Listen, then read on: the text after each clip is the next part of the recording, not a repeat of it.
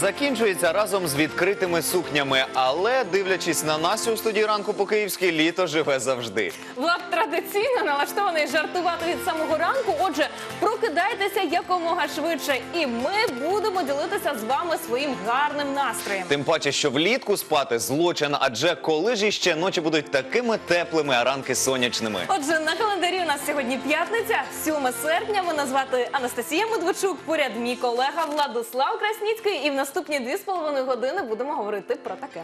Отже, які зміни чекають на парк Наталка, котрий простягується уздовж оболонської набережної? Докладно про проект реконструкції розкаже Денис Пікалов, директор комунального підприємства Плесо. Ну а ближче до восьмої чекаємо у студії на офтальмолога Наталію Розумій. Запитаємо, що обрати окуляри або лінзи. Чи варто робити лазерну корекцію зору? А також які вправи допоможуть очам відпочити від роботи перед комп'ютером. Ну а наприкінці ефіру разом з режисером Олегом Фіалком будемо розмірковувати про вектори розвитку українського кіно. А ще запитаємо, чи не шкодує він про своє рішення залишити Оскарівський комітет. Наші ж журналісти запропонують вам подорож до Збаразького замку. Розкажуть, як приготувати смачні еклери на сніданок та де залишити домашнього улюбленця, їдучи у відпустку. Ну але про все це дещо згодом. А просто зараз свіжа порція новин від Юлії Боднар, СТН за мить. Сподіваємося, ви готові, адже ми починаємо.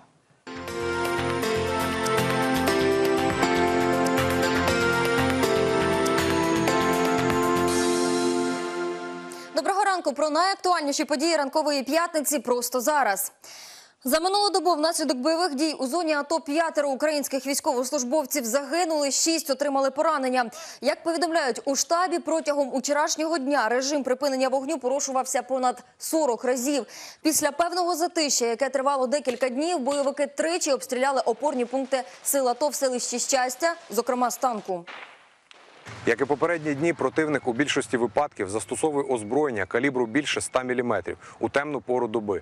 Бойовики зі 120-мм мінометів вели вогонь по наших позиціях в Опитному, Майорську, Ленінському. Крім того, під обстрілом танків окупантів опинилися Піски та Водяне. З полону бойовиків так званої ДНР звільнені троє українських бійців. Про це у Твіттері написав речник президента Святослав Цегулко. Своєю чергою речник СБУ Олена Гітлянська повідомила, що звільнено військовослужбовців 80-ї, 81-ї бригади збройних сил, а також бійця 25-го батальйону Київська Русь. Україна ініціює створення буферної зони на Донбасі та відведення зброї калібром менше 100 мм. Про це сказав міністр закордонних справ Павло Клімкін. Він пояснив, що українська влада хоче відвести озброєння на 35 кілометрів з кожної сторони, створивши таким чином своєрідну зону безпеки. Аби вона працювала, необхідно, щоб спостерігачі ОБСЄ постійно стояли в ключових точках і мали можливість необмежених інспекцій. Також, за словами Клімкіна, Україна має бути впевнена, що це відведення не буде використовуватися для будь-яких провокацій в плані подальших атак і захоплення додаткових територій. У столиці презентували інтерактивну карту ремонтних робіт. Тепер будь-хто у власному комп'ютері може побачити, в яких будинках чи дворах проводитимуть ремонти, де асфальтуватимуть дорогу чи облаштовуватимуть дитячі та спортивні майданчики. Наразі на карті зображено усі дві тисячі столичних об'єктів, де цього року мають відбутися оновлення. Міський голова Віталій Кличко зазначив, що кожен киянин може внести свою пропозицію щодо ремонту будинку наступного року. Для цього необхідно звернутися до громадської приймальні мера або за номером 1551. До слова, цьогоріч на ремонт столичних будинків та дворів із міського бюджету виділили понад 200 мільйонів гривень. Ми бачимо тут ті роботи, які виконуються, е, ремонти ліфтів, прибудинку- будинкової території, е, сходові клітини, е, покрівлі і так далі. Тобто всі роботи, які відбуваються в місті Києві. Зараз ми формуємо ті роботи, які будуть е, відбуватися в 2016 е, році. Просимо киян також звертатись. Ми будемо формувати карту в е, першу чергу е, першочергових робіт на е, основі звернень киян. Через ремонтні роботи на Борщагівському колекторі тимчасово припинять водопостачання в окремих мікрорайонах столиці.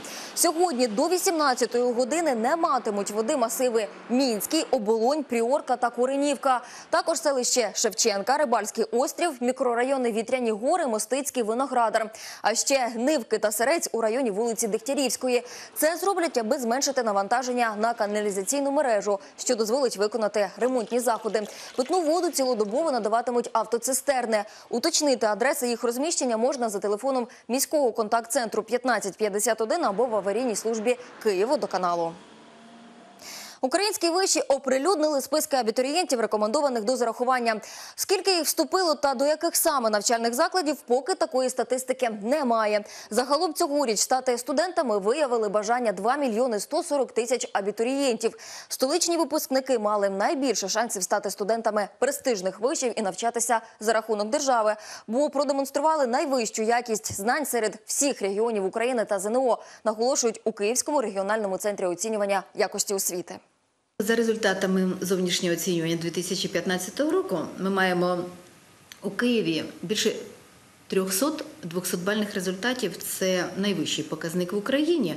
Ви знаєте, тут сумнівів навіть немає, що ці діти є бажані у тих навчальних закладах, куди вони подали документи, і за першим своїм пріоритетом. Найбільш популярними університетами традиційно залишаються Львівський національний університет імені Франка 55 тисяч заяв, Львівська політехніка 52 тисячі заяв, університет Шевченка 49 тисяч заяв, КПІ 33 тисячі заяв, е, Національний авіаційний е, 32 тисячі 700 заяв.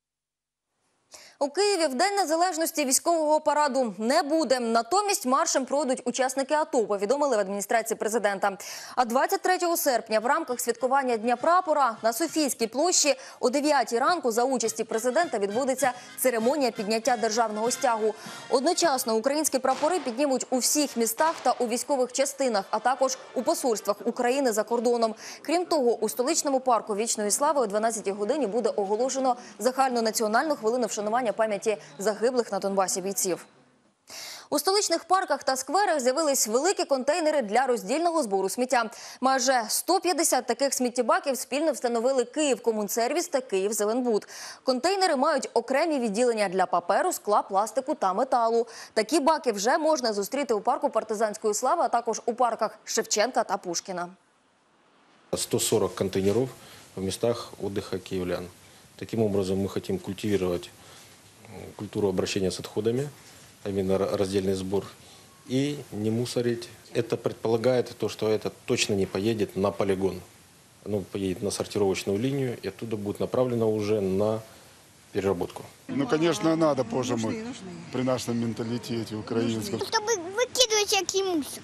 От такого портится вся природа.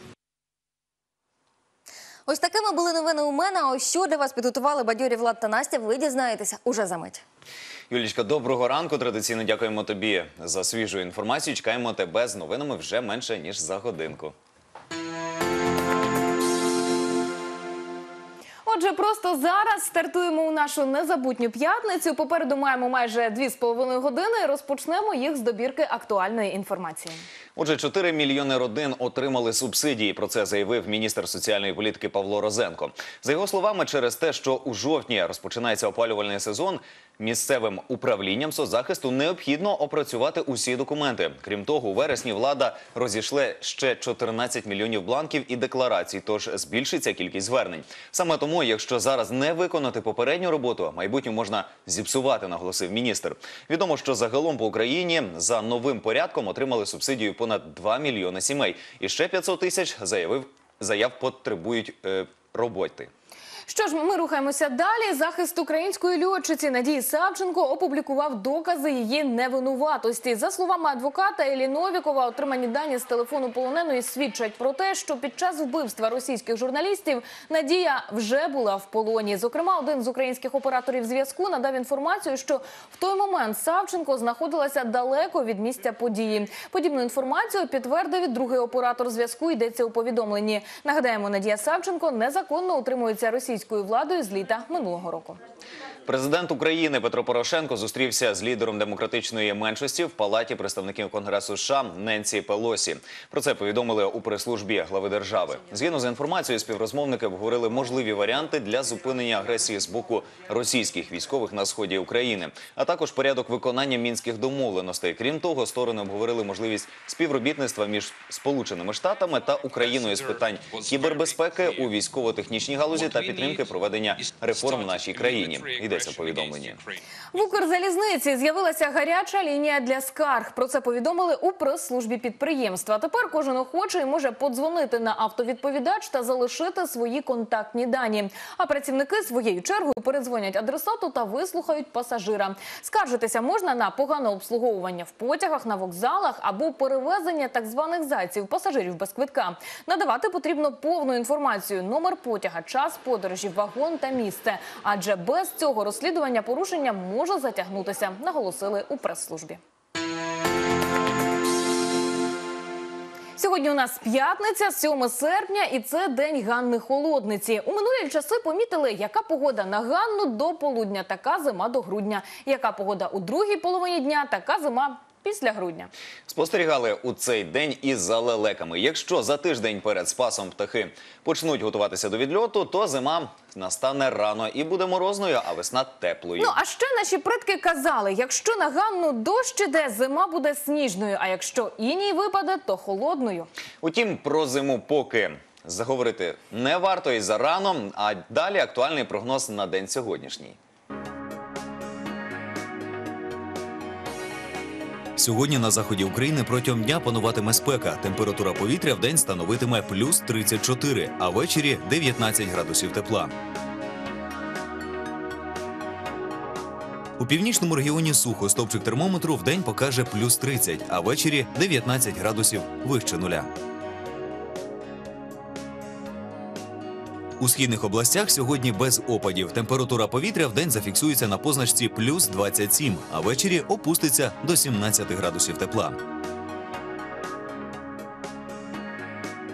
На півночі нашої країни опади не передбачаються. Вдень повітря прогріється до 32 градусів, а ввечері буде трохи прохолодніше 21 градус із позначкою плюс. У Києві сьогодні спекотно стопчик термометру в день підніметься до 32 градусів, а ввечері знизиться до 20 градусів вище нуля.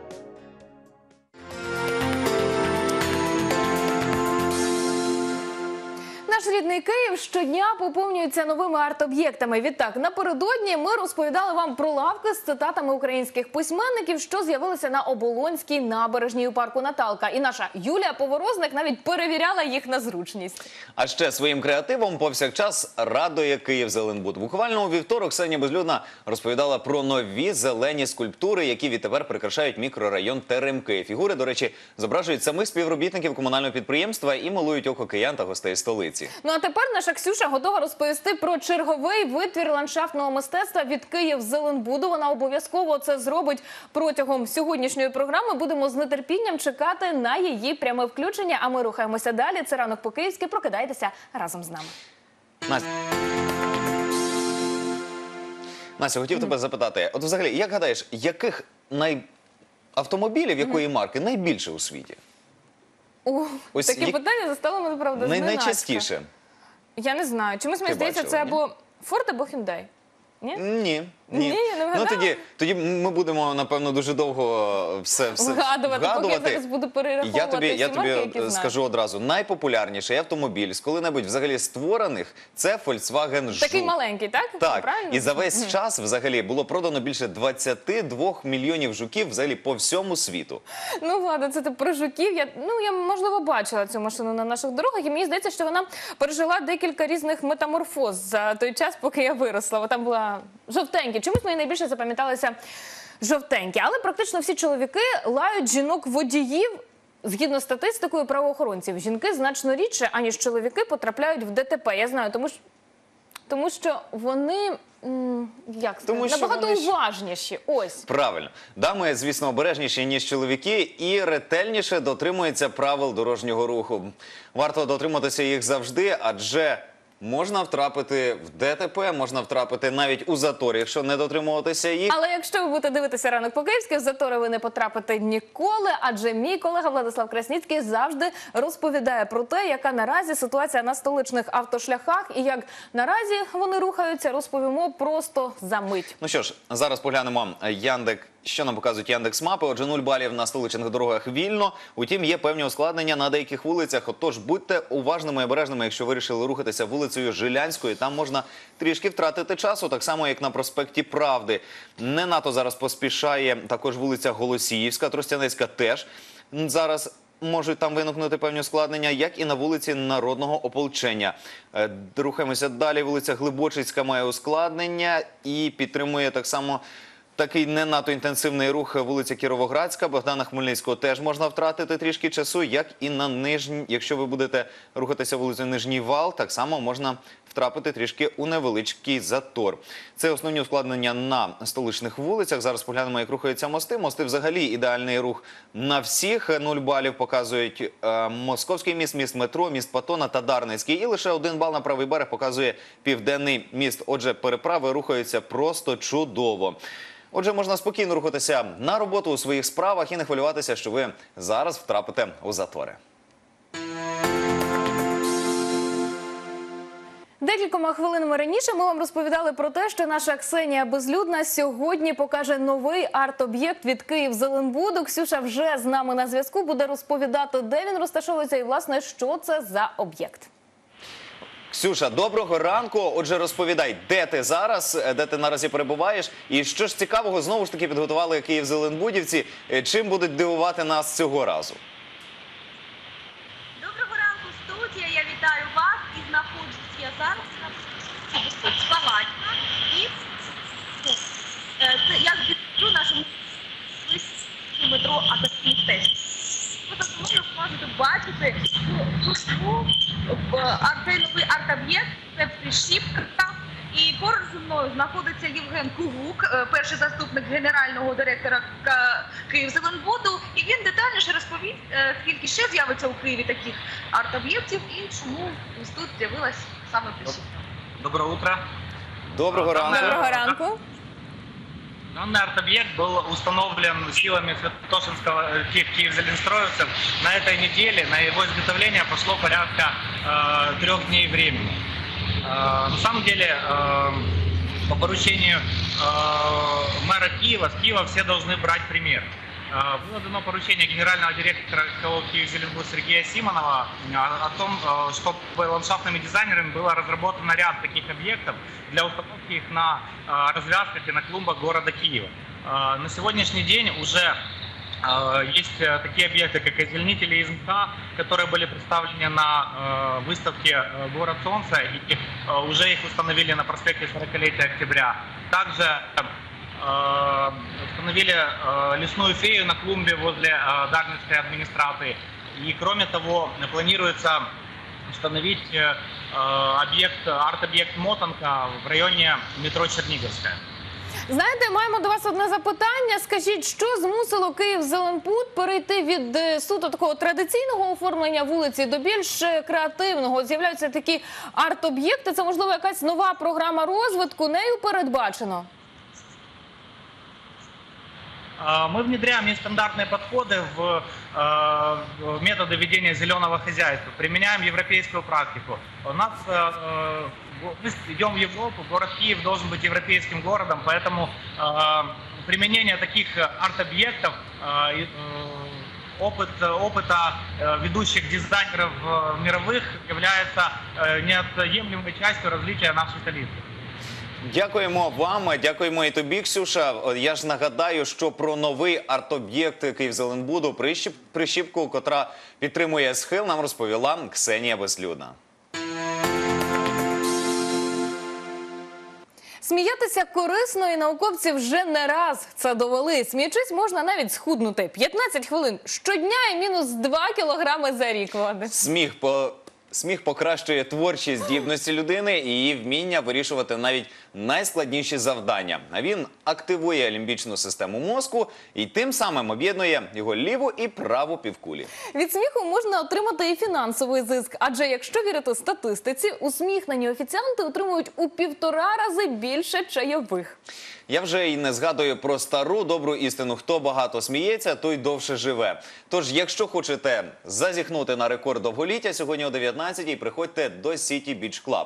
Там відбудеться новий український Comedy Club. Веселити та бадьорити вас будуть відомі вітчизняні коміки, зокрема дядя Жора, дует Панаєхалі, Заєнька та Арсен Мірзоян. Готуйтеся до двох годин просто вбивчого гумору. Вартість квитків від 100 гривень. Хочете відчути себе справжнім хліборобом? Тоді вам варто завітати на фестиваль хліб, котрий триватиме на хуторі обірок. Під наглядом старожилів хутора вас навчать жати серпами, молоти ціпами та випікати хліб у печі. Талановиті майстри відкриють для вас секрети гончарства, бортництва, кулінарії, а ще навчать малюванню та народним співам. Увечері для своїх відвідувачів організатори фестивалю підготували зустрічі з відомими письменниками та концерт. Розпочнеться захід о 10 ранку. Вартість квитка 500 гривень. Діти до 14 років безкоштовно. Тим, хто не уявляє своє життя без самовдосконалення та нової інформації, радимо сьогодні відвідати майстер-клас Євгена Чечваркіна, одного з дев'яти найексцентричніших бізнесменів сучасності за версією Forbes. В межах заходу він розповість історію свого успіху та поділиться секретами відкриття власної справи. Розпочнеться майстер-клас о 9 ранку в приміщенні готелю Космополіт. Вартість участі від 2900 гривень. Якщо ж хочете перетворити вечір п'ятниці на романтичну пригоду, тоді о 23.50 приходьте на Київський річний вокзал. Там розпочнеться півтора годинна прогулянка на пароплаві під назвою Панорама Києва. Вартість квитків від 100 до 120 гривень. Сьогодні, 7 серпня, останній день всесвітнього тижня грудного вигодовування. Відтак, нещодавно у студії ранку по київськи ми говорили з педіатром про його користь як для дитини, так і для матері. Як з'ясувалося, головний страх кожної породіллі нестача молока, а також незнання азів грудного вигодовування. Впоратися із переживаннями та проблемами молодим матусям допомагають у столичному перинатальному центрі. Більше знає наша Юлія Поворозник. Ірина народжувала вперше і одразу стала мамою двічі. Хоча пологи пройшли нормально, в медзакладі затрималась, аби один із хлопчиків набрав вагу. Годує немовлят виключно грудним молоком. Когда после родов э, ребенка прикладывают к груди, то это эмоции, которые просто переполняют слез, сдержать невозможно. Это, ну я не знаю, это просто счастье. Просто единственное, не нужно лениться, потому что все-таки кормить грудью, да, это труд, но это того стоит. Основні правила успішного грудного вигодовування молода мама дізналась у перинатальному центрі. З використанням спеціальної подушки Ірина годує двійнят одночасно, однак не обійтись і без допомоги близьких.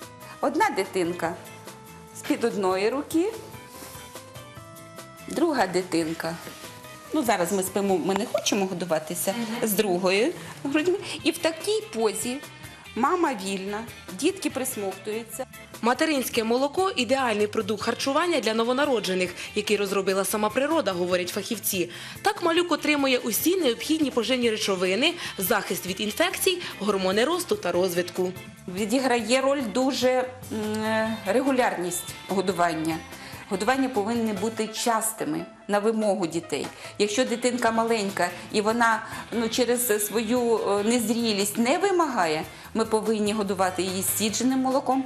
Стідженим молоком кожні три години годують дітей і у відділенні інтенсивної терапії, де знаходяться малюки, які народились раніше строку і ще не навчились дихати самостійно. Дети кормятся, как положено, каждые три часа через зонд, потом из ложки, потом из шприца. Когда они уже могут самостоятельно сосать, тогда их прикладывают к груди. То есть мы у себя в отделении, учитывая то, что у нас отделение для недоношенных детей, используем альтернативные методы кормления. Налаштовують мам, вони розповідають, як е, налагодити лактацію, як все зробити для того, щоб дітки дійсно е, могли отримувати мамине молоко з перших днів. Перший ковток повітря самостійно і новонародженого Марка із інтенсивної терапії перевели у відділення другого етапу виходження недоношених діток. Мама Галина тішиться, хоча й малюк народився восьмимісячним, з перших годин їсть лише грудне молоко. Стіджуванням поведінку потім вже викормлюють, вже ми переходимо на бутилочку, у нас вже, тобто вже наступна стадія. Про переваги грудного молока майбутнім мамам розповідають і на заняттях у школі батьківства Київського перинатального центру. Також на лекціях кваліфіковані лікарі, акушери, гінекологи розповідають про техніку вигодовування та догляд за новонародженими.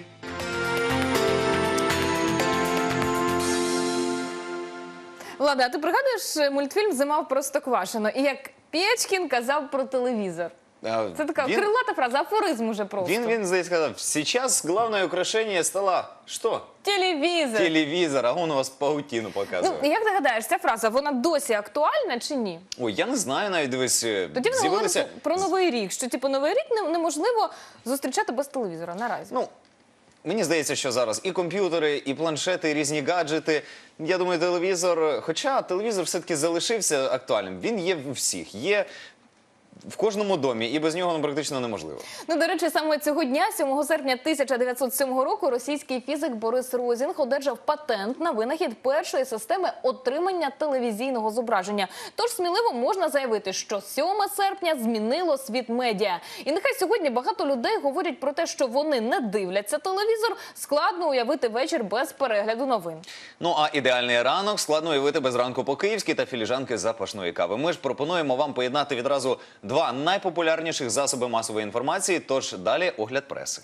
Український Вог опублікував довгоочікувані світлини зі зйомок нового фільму Анджеліни Джолі та Бреда Піта. Стрічка біля моря стала їхньою першою спільною роботою за останні 10 років. Про сюжет фільму та цікаві моменти, що траплялися під час процесу зйомок, пишуть редактори Vogue.ua.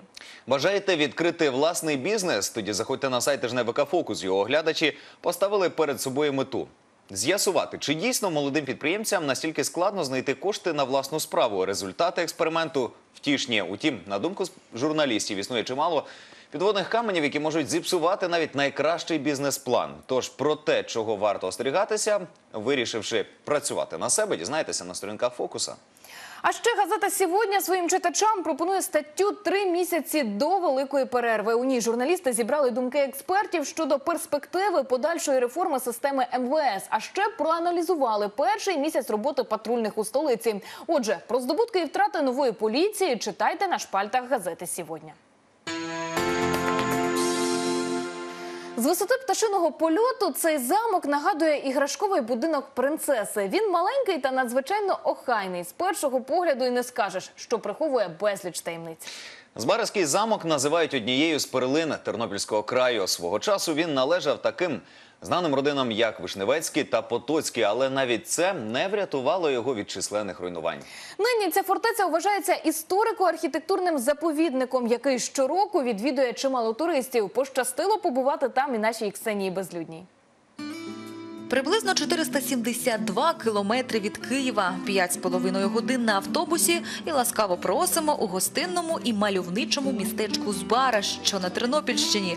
Основною пам'яткою тут, звичайно ж, є ось цей стародавній замок, побудований ще у 17 столітті як оборонно-фортифікаційна споруда. Сьогодні на території Збаражського замку працює музей, де представлені різноманітні експонати історії Західної України. Тож ласкаво просимо на відео екскурсію до минулих століть. Зараз, будь ласка, прошу відійти в мірах безпеки. Давай, жовто-сині, давай.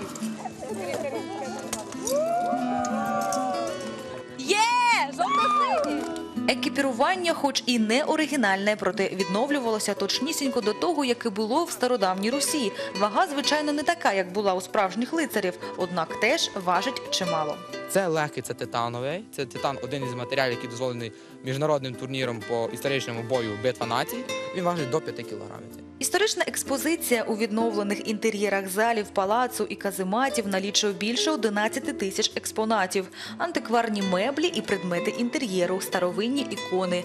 Євангеліє датоване 17 століттям, національне вбрання західних українців та спеціальний куток, присвячений трагічним подіям на Майдані, в яких загинули мешканці Тернопільщини. Нам залишається вірити і надіятися в те, що, що саме смерті цих молодих дітей, яким ще можна було любити, жити, творити, працювати для нас, для нашого майбутнього, для майбутнього наших дітей буде недаремною. Основною родзинкою з Баришського замку є звичайно підземелля. Тут розташовується історична в'язниця зі знаряддями тортур.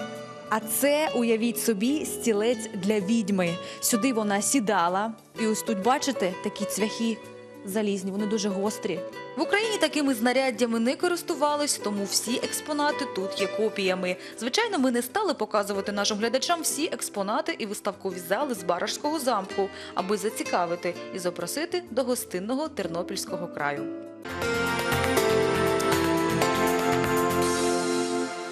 Такими були тільки перші 30 хвилин у ранку по київськи. Утім, найцікавіше попереду, зокрема. Ми розкажемо про те, де залишити домашнього улюбленця, поки ви у відпустці. А ще наші журналісти підготували ексклюзивний сюжет про картку киянина. Які її переваги? Про це в найближчі півгодини. Про метаморфози, котрі вже незабаром відбудуться в парку Наталка. Наприкінці години нам розкаже Денис Пікалов, директор комунального підприємства Плесо. А ще ми запитаємо в нього, який столичний пляж найкращий. Тож, якщо хочете закріпити свою засмагу, залишайтеся з улюбленим телеканалом.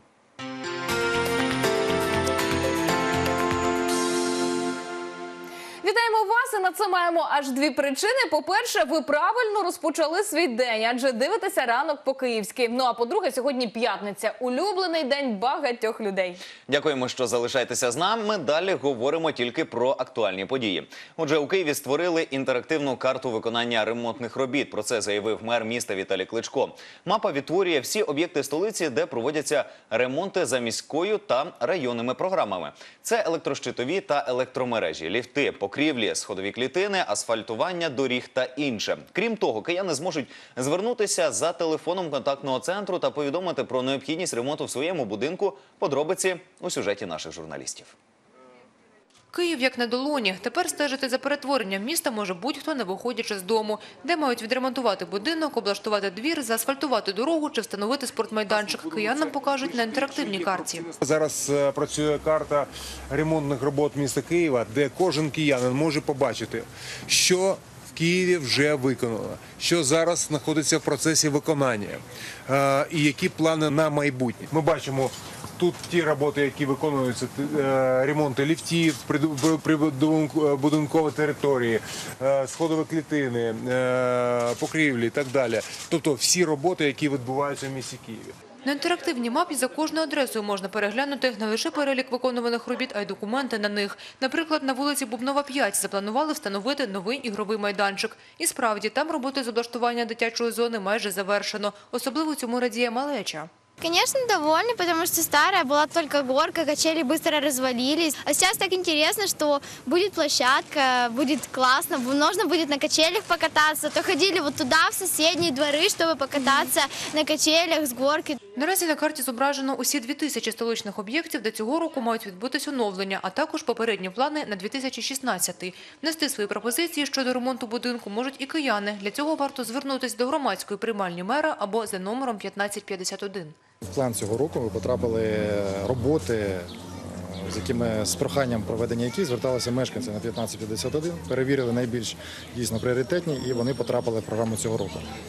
За зверненнями знов таки, е, враховуючи пріоритети, буде формуватися програма 2016 року. Ми вже почали розміщати певні об'єкти на сайті, також на тій інтерактивній карті, яку сьогодні ми презентували. Кияни вже можуть оцінити нововведення, переглянувши інтерактивну карту капітальних ремонтів на сайті міськадміністрації. Це дуже зручна карта. Це дуже добре, що ну, є, є таке, таке новшество е, в Києві. І люба людина може подивитися спокійно і знати, допустимо, е, чи в цьому році, чи в наступному році буде, буде зроблено якийсь ремонт. Це дуже добре. Загалом цьогорічне проведення ремонтів столичних будинків з бюджету виділили понад 200 мільйонів гривень.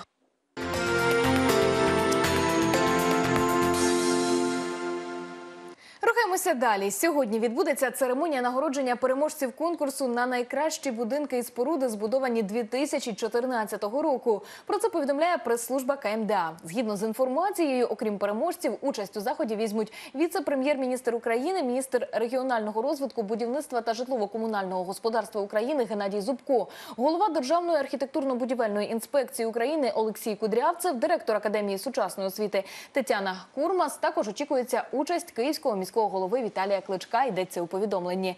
Зазначається, що конкурс проводиться з метою поліпшення якості будівництва та поширення досвіду у цій галузі. У столиці подовжили роботу автобусів за номерами 21, 31 та 87. Про це повідомляє підприємство «Київпастранс». Зокрема, збільшили кількість вечірніх та ранкових маршрутів у робочі дні. За новим графіком транспорт рухатиметься вже з 8 серпня. Детальніше про рух автобусів можна дізнатися на сайті «Київпастрансу» у розділі «Розклад» йдеться в повідомленні. Про новини столичні говоримо й далі. У зв'язку з ремонтом колектора в деяких будинках буде обмежено водопостачання. Про це повідомили у прес-службі КМДА. Згідно з інформацією, обмеження буде діяти до 18-ї години вечора сьогоднішнього дня у багатоповерхових будинках житлових масивів Оболонського, Подільського та Шевченківського районів столиці. А для питного водопостачання, окрім бюветних комплексів, буде організована робота автоцистерн. За детальнішою інформацією можна звернутися до контактного центру 1551 або до аварійної служби Київводоканалу. Йдеться у повідомленні. У Києві три людини захворіли на лептоспіроз. Про це заявила виконуюча обов'язки директора департаменту охорони здоров'я Алла Аришкович. Згідно з інформацією, це гостра інфекційна хвороба, зараження якої відбувається через ушкодження. Ушкоджену шкіру та слизову оболонку при купанні у водоймах зі стоячою водою. Характеризується ураження печінки, нирок, м'язів, хвилеподібною лихоманкою. Захворювання починається гостро, різке підвищення температури до 39 градусів, яка не спадає протягом наступних 6-10 днів. Крім того, вона супроводжується головним болем, нудотою. Тож, аби уникнути захворювання, лікарі радять не купатися у водоймах, де введено обмеження. Йдеться у повідомленні. Ранок по-київськи завжди турбується про ваше інформаційне здоров'я. Відтак ми щодня розповідаємо вам про все найважливіше, що відбувається в Україні. І просто зараз із перших вуст дізнаємося про те, як минула ніч на сході. З нами на прямому зв'язку телефоном речник АТО Анатолій Стельмах. Пане Анатолію, доброго ранку. Отже, як минула сьогоднішня ніч на сході, які населені пункти найактивніше піддавалися обстрілам, і чи, і чи взагалі посилилися обстріли? Добрий день, студія. Хотілося б відзначити, що впродовж вчорашньої ночі ситуація в зоні АТО суттєво загострилася. Російсько-терористичні війська з 18 години до півночі практично без перерви обстрілювали українські позиції в населених пунктах поблизу Донецька. Так близько 20 години найманці збільшили вогонь полків з 22-мм артилерії. З 10 вечора ворог чотири рази повстанців по позиціях сил АТО попитом і тричі знову ж таки волків. З 18 до опівночі противник сім разів обстріляв наші опорні пункти в селищі Пісків 120-мм мінометів. А близько 23 години по цьому ж населеному пункту вів вогонь артилерії калібру 122 мм. З 19 до 25 і майже до 21 години в районі селища Красногорівки відбулось бойове наших військ один. Група бойовиків близько 20 чоловік. За підтримки 120-мм мінометів та стрілецької зброї намагалася пройти наш опорний пункт. В результаті бою окупанти вбили. На Артельському напрямку вночі під вогонь 120-мм мінометів потрапили позиції сил АТО Санжарів та Золотому. А з 22.05 до 22.25, відверто ігноруючи мінські домовленості, противник вів вогонь з реактивних систем залпового БМД Дмитра по Троїцьку. Відносно за те, що було поблизу Маріуполя. Ніч окупанти двічі провокуючи наших військових стрілецькою зброю, обстріляли Чернолиці. Загалом протягом вчорашньої доби незаконні збройні формування 106 разів порушили режим припинення вогню. З них 78 випадків застосування ворогом зброї зафіксовано поблизу Донецька. Скажіть, будь ласка, серед е, офіцерів російсько-терористичних військ зростає невдоволення діями керівництва. В чому причина?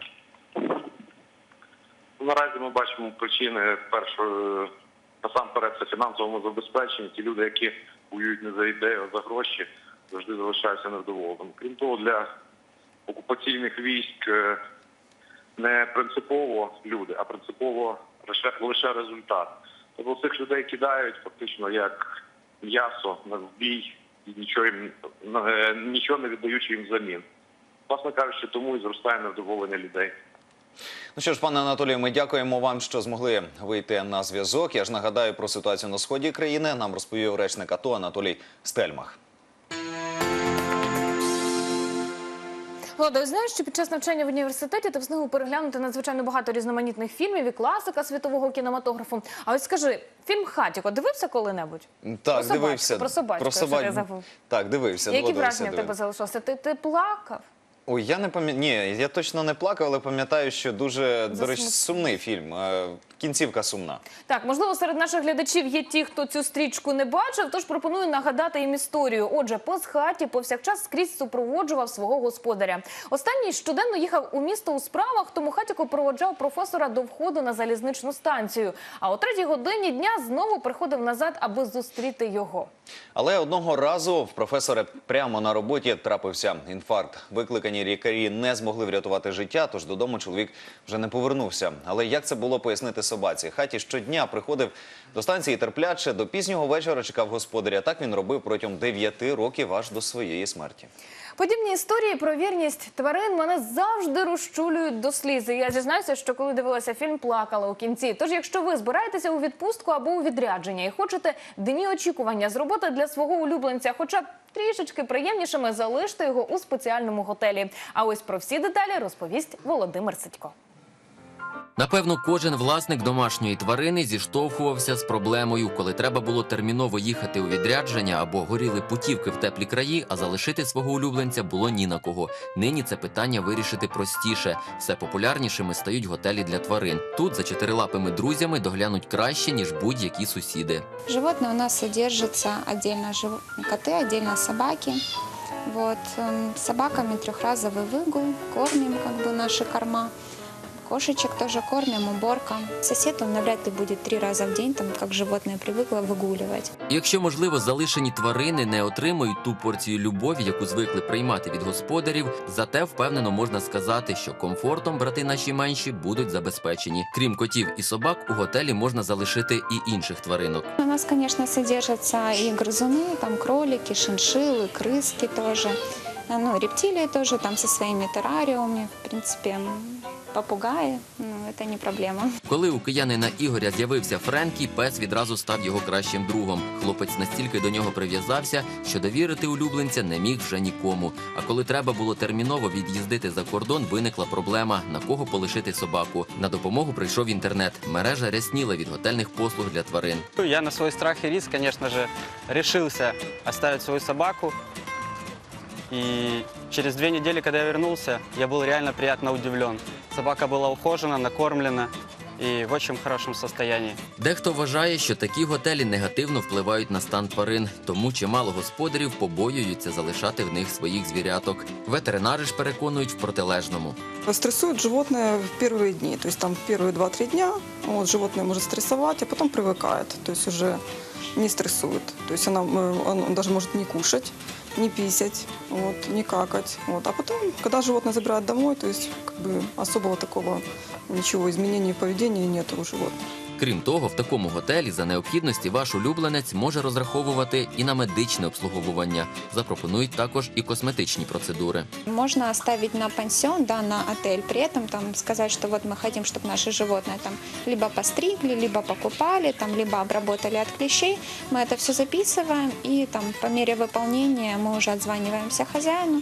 Ціни на проживання у готелі залежать від розміру і маси тварини. Для котів доба коштуватиме господарю в середньому 70 гривень, для собак від 80 до 150 гривень.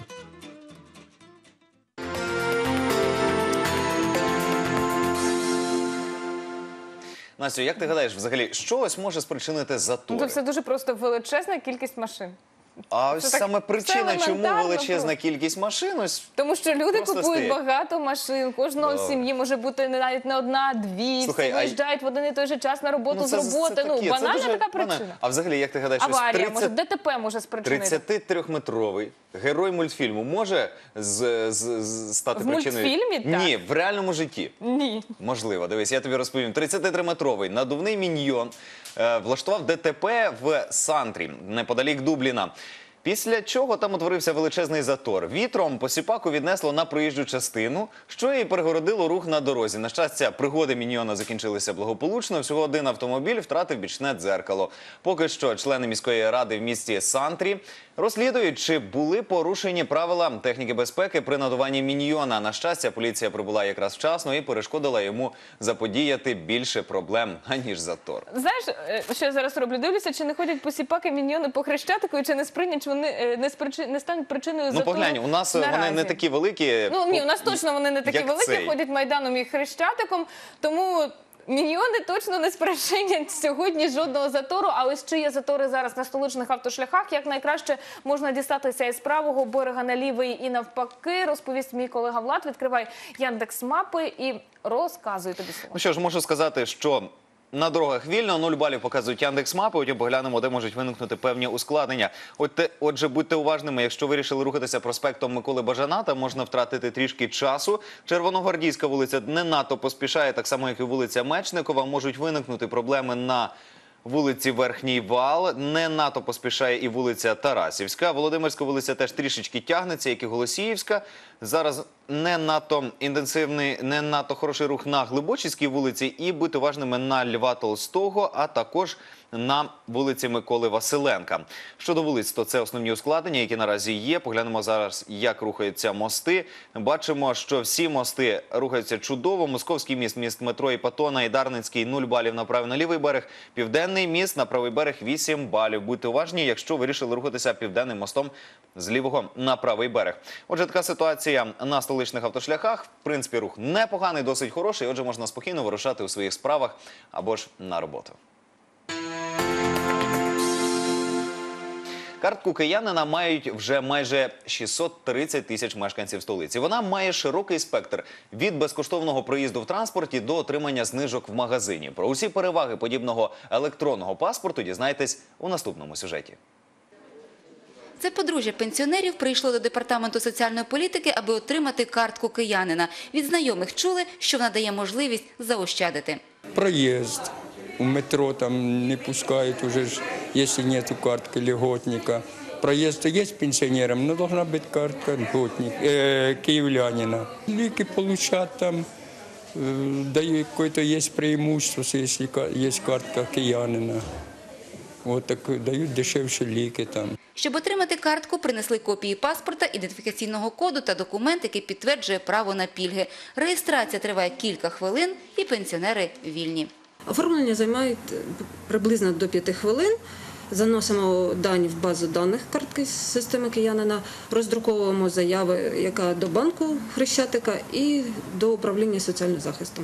Видаду документи подружжю через два тижні. Саме пенсіонерів серед охочих отримати картку киянина найбільше, кажуть у департаменті. Головна їх зацікавленість – безкоштовний проїзд у громадському транспорті. З 1.06, згідно з постановою Кабінету міністрів, велика кількість пільгових категорій населення втратила право на проїзд метрополітену в тому числі. А киянам е, ця пільга надається за рахунок київського бюджету, київською владою, і це підтверджується саме транспортним додатком, активованим в карті киянина.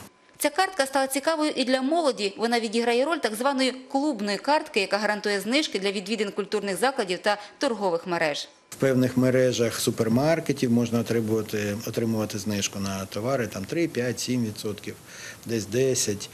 Е, В зоопарк знижка десь, якщо я не плутаю, до 30 відсотків отримувачем картку кияни музеї. Театри міста Києва, в залежності від який як, теж надають певну пільгу. Всі без винятку власники картки киянина мають можливість отримувати знижку до 50% на понад 160 найменувань ліків у мережі «Фармація». Використовувати її як звичайну банківську картку для заощаджень та заробітної плати. Пільговики з її допомогою менше сплачують за квартплату та отримують на неї одноразову допомогу від столичної влади. Зважаючи на такі можливості, охочих мати картку киянина стає все більше. Її отримали вже 623 тисячі людей. Щодня до органів соціального захисту приходить е, близько 700 осіб. Це е, е, в 10 районних управлінь наших та департамент соціальної політики. І додатково в нас ще відкритий пункт реєстрації на проспекті Перемоги 35. У цих установах отримати картку киянина можуть і зареєстровані у столиці переселенці та люди, що офіційно працюють, але не мають столичної прописки. Поки що можливості картки киянина, як і людського мозку, використовуються лише на 5-10%, наголошують у департаменті, тому з часом планують розширити функції документа.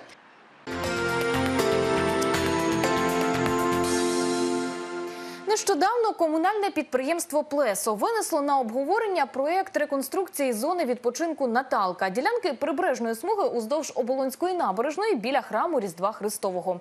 Як зміниться територія? Що нового чекає на кияни гостей столиці? Та в якому стані наразі перебувають столичні пляжі та зони відпочинку? Нам розповість Денис Пікалов, директор комунального підприємства Плесо. Доброго ранку, пане Доброго Денисе. Раді вітати знову вас у студії. Хочеться привітати ще з 20-річчям КП «Плесо», всіх е, працівників е, і вас, побажати наснаги. Е, Хотілося запита... розпочати розмову з того. Отже, проект зараз на обговоренні. Правильно? Іменно так. Взагалі, як з'явилася ідея ось провести реконструкцію, і ну, взагалі, чому була причина? Це було заплановано, чи це вже з'явилося, е, скажімо так, влітку, і вирішили це зробити? Ну, идея, на самом деле, совершенно лежала на поверхности. Совершенно очевидно было, что э, жители Оболони заслуживают на э, дополнительную зону отдыха, тем более, если она уже изначально значилась там в генеральном плане, имело смысл ее реконструировать. Э, Текущее состояние вызывало очень много нареканий, и, э, безусловно, эта территория требовала реконструкции.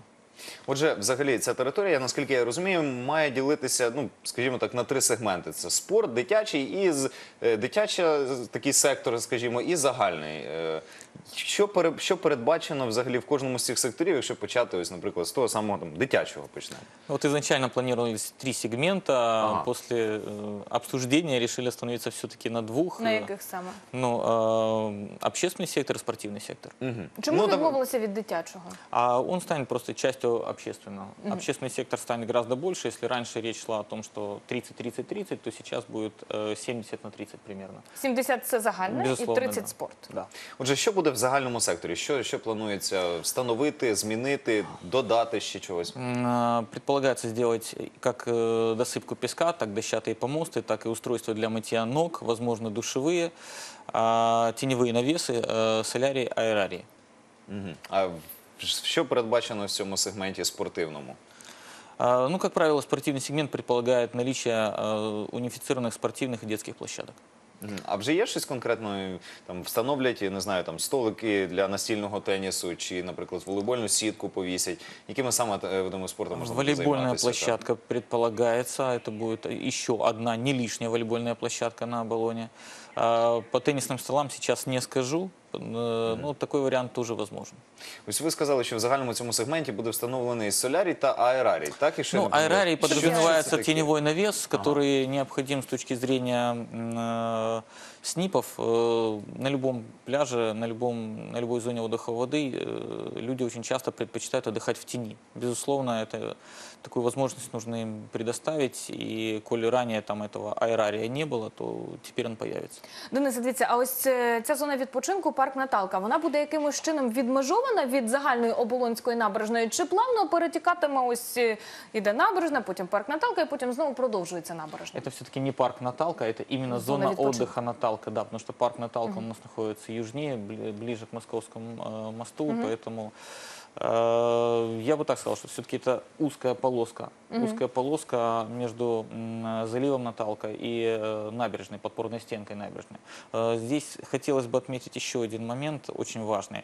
Очень часто люди спрашивают вот при обсуждении, а, а где все-таки будут расположены туалеты? Мгм. Многие, многие, многие киевляне ожидали увидеть, туале- что туалеты будут расположены на нижней палубе.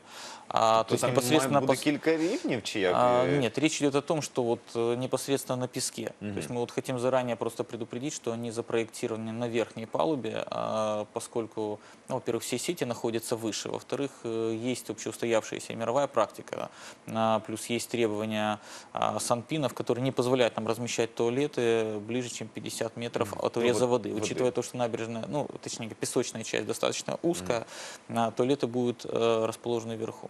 То есть мы будем искать варианты их подключения, но так или иначе, знаете, как театр начинается с вешалки, общественное место начинается с туалета.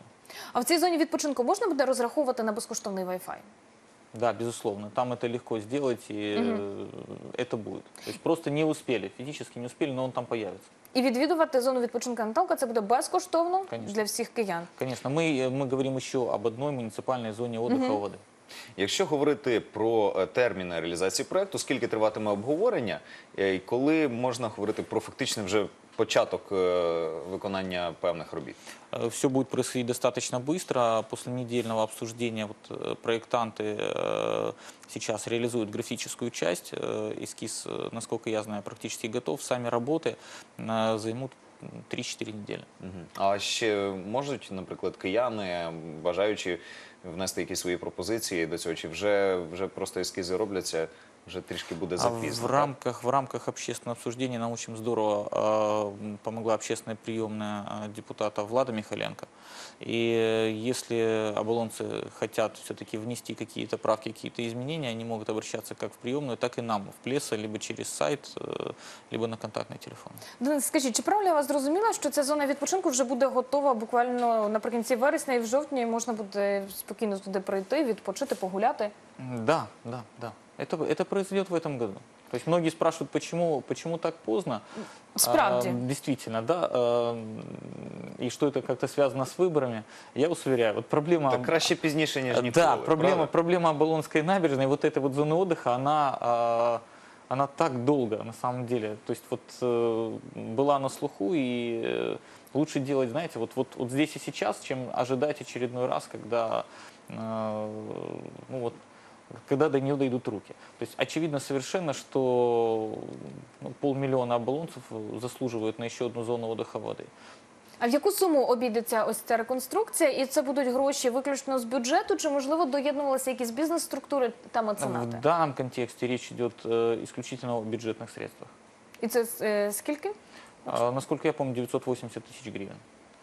Е, Ось хотілося запитати. Я вчора буквально зайшов на сайт е, КП Плесо, знайшов цікавий такий розділ, якщо не помиляюсь, ліворуч, там е, була, був список е, пляжів і зон відпочинку. На, навпроти кожного була позначка або зелена, або жовта, Жовта. і бачив, що Червоних- чер- червоних не було. Розкажіть, будь ласка, наскільки як часто оновлюється ця інформація? Наскільки я розумію, це е, готовність пляжів е, до того, як вони можуть приймати е, так людей. Наскільки часто оновлюється ця інформація? Наскільки вона є достовірною, і що означають саме ці позначки? Э, Сегодня это самая актуальная информация, которая есть в столице. Э, Ее источником служат э, результаты Отбора проб воды э, санэпидслужбы. И как только мы получаем информацию, что качество воды ухудшилось, как правило, оно ухудшается из-за э, биологических температурных показателей. Да, как только температура воды э, повышается до 22 и выше градусов, безусловно, вот э, вы сегодня говорили о том, что в стоячих водоемах купаться нежелательно. И, как правило, э, ну, вот все водоемы пресные дают э, ну, превышение по уровню лактопозитивной кишечной палочки. Эта информация обновляется еженедельно на пляжах. Мы получаем данные от СЭС по пятницам э, с утра, и вот сегодня эта информация снова будет обновлена. Я заранее прошу не паниковать, если вдруг окажется, что результаты э, будут, э, ну, скажем, следствием результатов будет просьба все-таки э, не купаться, это, это нормально, к этому нужно относиться как, к текущей, э, как к текущему прогнозу погоды. Э, после очередного, скажем, м, понижения температуры купаться вновь будет можно. То есть здесь нужно все-таки относиться серьезно к рекомендациям СЭС, и на то и делаются анализы и пробы воды, чтобы мы к ним прислушивались. Бачите, Wi-Fi на пляжах е, потрібен, тому що прийшла людина, наприклад, з гаджетом відкрила, так КП Плесо, подивилась, все, купатися можна в воду? Ні. Пішли гуляти, наприклад, в парк Наталка. А наразі ви можете озвучити ті пляжі, на які точно можна буде піти, наприклад, там сьогодні і протягом вихідних? Ну вот я хотел бы все-таки видеть результаты Мгм. анализов. Спочатку Да, вам принесуть да, на дан- результати, на дан- ви поглянете, а Нет, потім безусловно. скажете. Вот э, до сегодняшнего дня был открыт гидропарк, до сегодняшнего дня а, была открыта, по-моему, пуща водица. А, озерные пляжи у нас не соответствовали качеству воды. Но я подчеркиваю, речь идет именно о качестве воды. Это не Мгм. означает, что на пляж нельзя приходить, отдыхать и загорать. Ну, а Струханів острів, як там? Там було хорошо. Тобто все, все чудово. Е, До речі, хотілося запитати теж на рахунок вбиралень. Вже говорили про туалети. Не було ніяких нарікань з боку е, мешканців столиці на те, що там замало чи брудно. Були які взагалі скарги надходили до вас? А, Пожелание сделать, э, ну, что-то сделать лучше есть всегда. Это нормально, это правильно. А Мы сегодня говорим о том, что городу все-таки предстоит, э, видимо, к следующему сезону менять э, устоявшуюся практику. И э, вот, вот в, том, в той же самой Германии, в той же самой Испании на муниципальных пляжах нету практики, когда а, отдельно у нас кабинки для переодевания, отдельно у нас душевые, отдельно у нас туалеты. Це якісь комплекси? Да, как правило, это комплекс, это, это помещение, это здание, в котором оборудован э, как камера хранения, так душевая, так туалет. Досить И, и как, правило, как правило, там же есть э, э, ну, скажем, общественное питание, возмо- возможность перекусить. А, Более того, если мы возьмем муниципальные пляжи Барселоны, там эта практика настолько устоявшаяся, что муниципальные службы занимаются непосредственно уборкой, а все остальное обеспечивают предприниматели, которые выкупают эти лоты на, на сезон. А, Точно такая же, Тобто кстати, практика да, на пляжах, так, на пляжах Хайфы. А, Мировой опыт подсказывает, что так делать лучше, нежели а, работать э, с предпринимателями, которые отдельно хотят торговать, извините, шаурмой, там, воздушной кукурузой, а, и кото- ко- которые в любом случае, за которыми не угнаться, но если мы говорим о том, что предприниматель заинтересован, чтобы, точно так же заинтересован, чтобы пляж э, был удобным, а, комфортным и к нему приходило больше посетителей, он заинтересован, чтобы э, он был якорным оператором и пляж был чистым. Денисе, і наостанок маємо запитання, коли планується завершення пляжного сезону і від чого це буде залежати врешті? А, ну, если начало пляжного сезона все-таки зависит э, м, от того, насколько мы подготовили пляжные Мгм. паспорта, подготовили инженерную инфраструктуру, то опыт э, прошлых лет э, э, говорит о том, что пляжный сезон оканчивается тогда, когда киевляне считают, что ходить на пляж уже прохладно. По отдельным пляжным, по отдельным зонам отдыха, вот как вот Наталка, безусловно, люди будут отдыхать э, и до октября месяца. Мгм. А если говорить о пляжах гидропарка, пляже э, центральные на Трухановом острове, то, безусловно, там э, ажиотаж спадает ну, 31 э, августа, в самом начале сентября. Зрозуміло. Дякуємо вам, пане Денисе, за те, що в черговий Спасибі. раз завітали до нашої Спасибо. студії. Будемо чекати вас ще раз. Я ж нагадаю, що про реконструкцію зони відпочинку Наталка та про стан столичних пляжів ми поговорили із Денисом Пікаловим, директором комунального підприємства Плесо.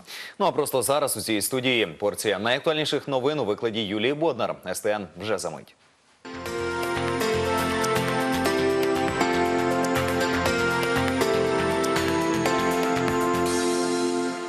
Мої вітання про найактуальніші події на восьму ранку. Просто зараз. Президент Петро Порошенко підписав закон про місцеві вибори, прийнятий парламентом 14 липня. Цей документ запроваджує чимало нововведень у виборчій системі. Зокрема, відповідно до закону, вибори повинні проходити за пропорційною системою, а сільських та селищних рад за мажоритарною. Закон виключає участь політичних блоків, а також передбачає, що вибори не відбудуться на окупованій частині Донбасу та в Криму. Документ регламентує також механізм відкликання депутатів. А ще на третину скорочує депутатський корпус, який нині становить 220 тисяч обранців. Хочу навести приклад, що якщо, наприклад, на сьогодні Київська обласна рада складається із 148 депутатів, то після прийняття цього закону вступив в дію. Київська обласна рада буде е, нараховувати тільки 84 депута- е, депутати. І ми маємо надію, що ми забезпечимо чесне і демократичне проведення виборів, так як це було і під час президентської кампанії минулого року, і під час парламентської кампанії. Уряд розглядає варіанти збільшення доходів українців у поточному році. Це стане можливим або за рахунок індексації, або через підвищення мінімальної заробітної платні. Повідомив прем'єр-міністр Арсеній Яценюк. За його словами, на це потрібно приблизно 12 мільярдів гривень. уряд знаходить можливість для того, щоб підвищити мінімальну заробітну платню. Ми зараз думаємо, де взяти ресурси і наскільки підвищити мінімалку. І це буде реальна відповідь для людей в тому, як держава турбується про кожного конкретного громадянина. До кінця року Мін'юст обіцяє надати можливість подавати заяви до РАЦУ через інтернет. Про це повідомив глава відомства Павло Петренко. За його словами, електронний документообіг зменшуватиме кількість візитів до РАКСу та спрощуватиме процедуру. Петренко розповів, аби зареєструвати шлюб на сайті Мін'юсту необхідно буде створити електронний кабінет і відправити відскановані документи, а потім через платіжну картку сплатити мито в банк. До РАЦУ людина приходить один раз, аби забрати уже готові документи. Окрім того, через електронний кабінет можна буде зареєструвати зміну прізвищ і смерть, зазначив міністр. Укрзалізниця відкрила гарячу лінію для скарг. Про це повідомили в прес-службі перевізника. За номером, який зараз на екрані, працює автовідповідач, на який треба залишити повідомлення та контактні дані. Працівники Укрзалізниці в найкоротші терміни повинні зв'язатися з адресатом повідомлення. У разі неналежного обслуговування при зверненні на гарячу лінію потрібно надавати повну інформацію: номер поїзда, час подорожі, вагон і місце. Наголошують в Укрзалізниці. Українські виші оприлюднили списки абітурієнтів, рекомендованих до зарахування. Скільки їх вступило та до яких саме навчальних закладів такої статистики поки немає. Загалом цьогоріч стати студентами виявило бажання 2 мільйони 140 тисяч абітурієнтів. Столичні випускники мали найбільше шансів стати студентами престижних вишів і навчатися за рахунок держави, бо продемонстрували найвищу якість знань серед всіх регіонів України та ЗНО, наголошують у Київському регіональному центрі оцінювання якості освіти. За результатами зовнішнього оцінювання 2015 року ми маємо у Києві більше 300 200-бальних результатів. Це найвищий показник в Україні. Ви знаєте, тут сумнівів навіть немає, що ці діти є бажані у тих навчальних закладах, куди вони подали документи, і за першим своїм пріоритетом. Найбільш популярними університетами традиційно залишаються Львівський національний університет імені Франка 55 тисяч заяв, Львівська політехніка 52 тисячі заяв, університет Шевченка 49 тисяч заяв, КПІ 33 тисячі заяв, Національний авіаційний е, 32 тисячі 700 заяв.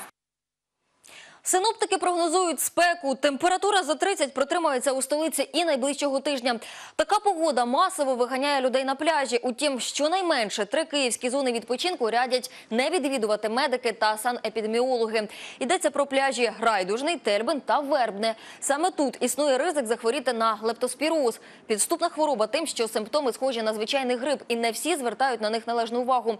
Але наслідки інфікування більш ніж серйозні. Ураження внутрішніх органів може призвести навіть до летальних випадків. Наразі у столичних лікарнях перебувають троє пацієнтів, хворих на лептоспіроз. Ще у чотирьох його підозрюють. Не можу сказати, що це спалах, це абсолютно прогнозована ситуація, тому що лептоспіроз має сезонність. Як правило, ми чекаємо підвищення захворювання саме високе, це серпень місяць. Хоча реєструємо ціло, ціл, круглий рік реєструємо, починаючи з підвищення з травня місяця, літом найбільш високий рівень, а восени чекаємо спад. Начался уже период цветения с- через жару и в связи с ситуацией погодных условий.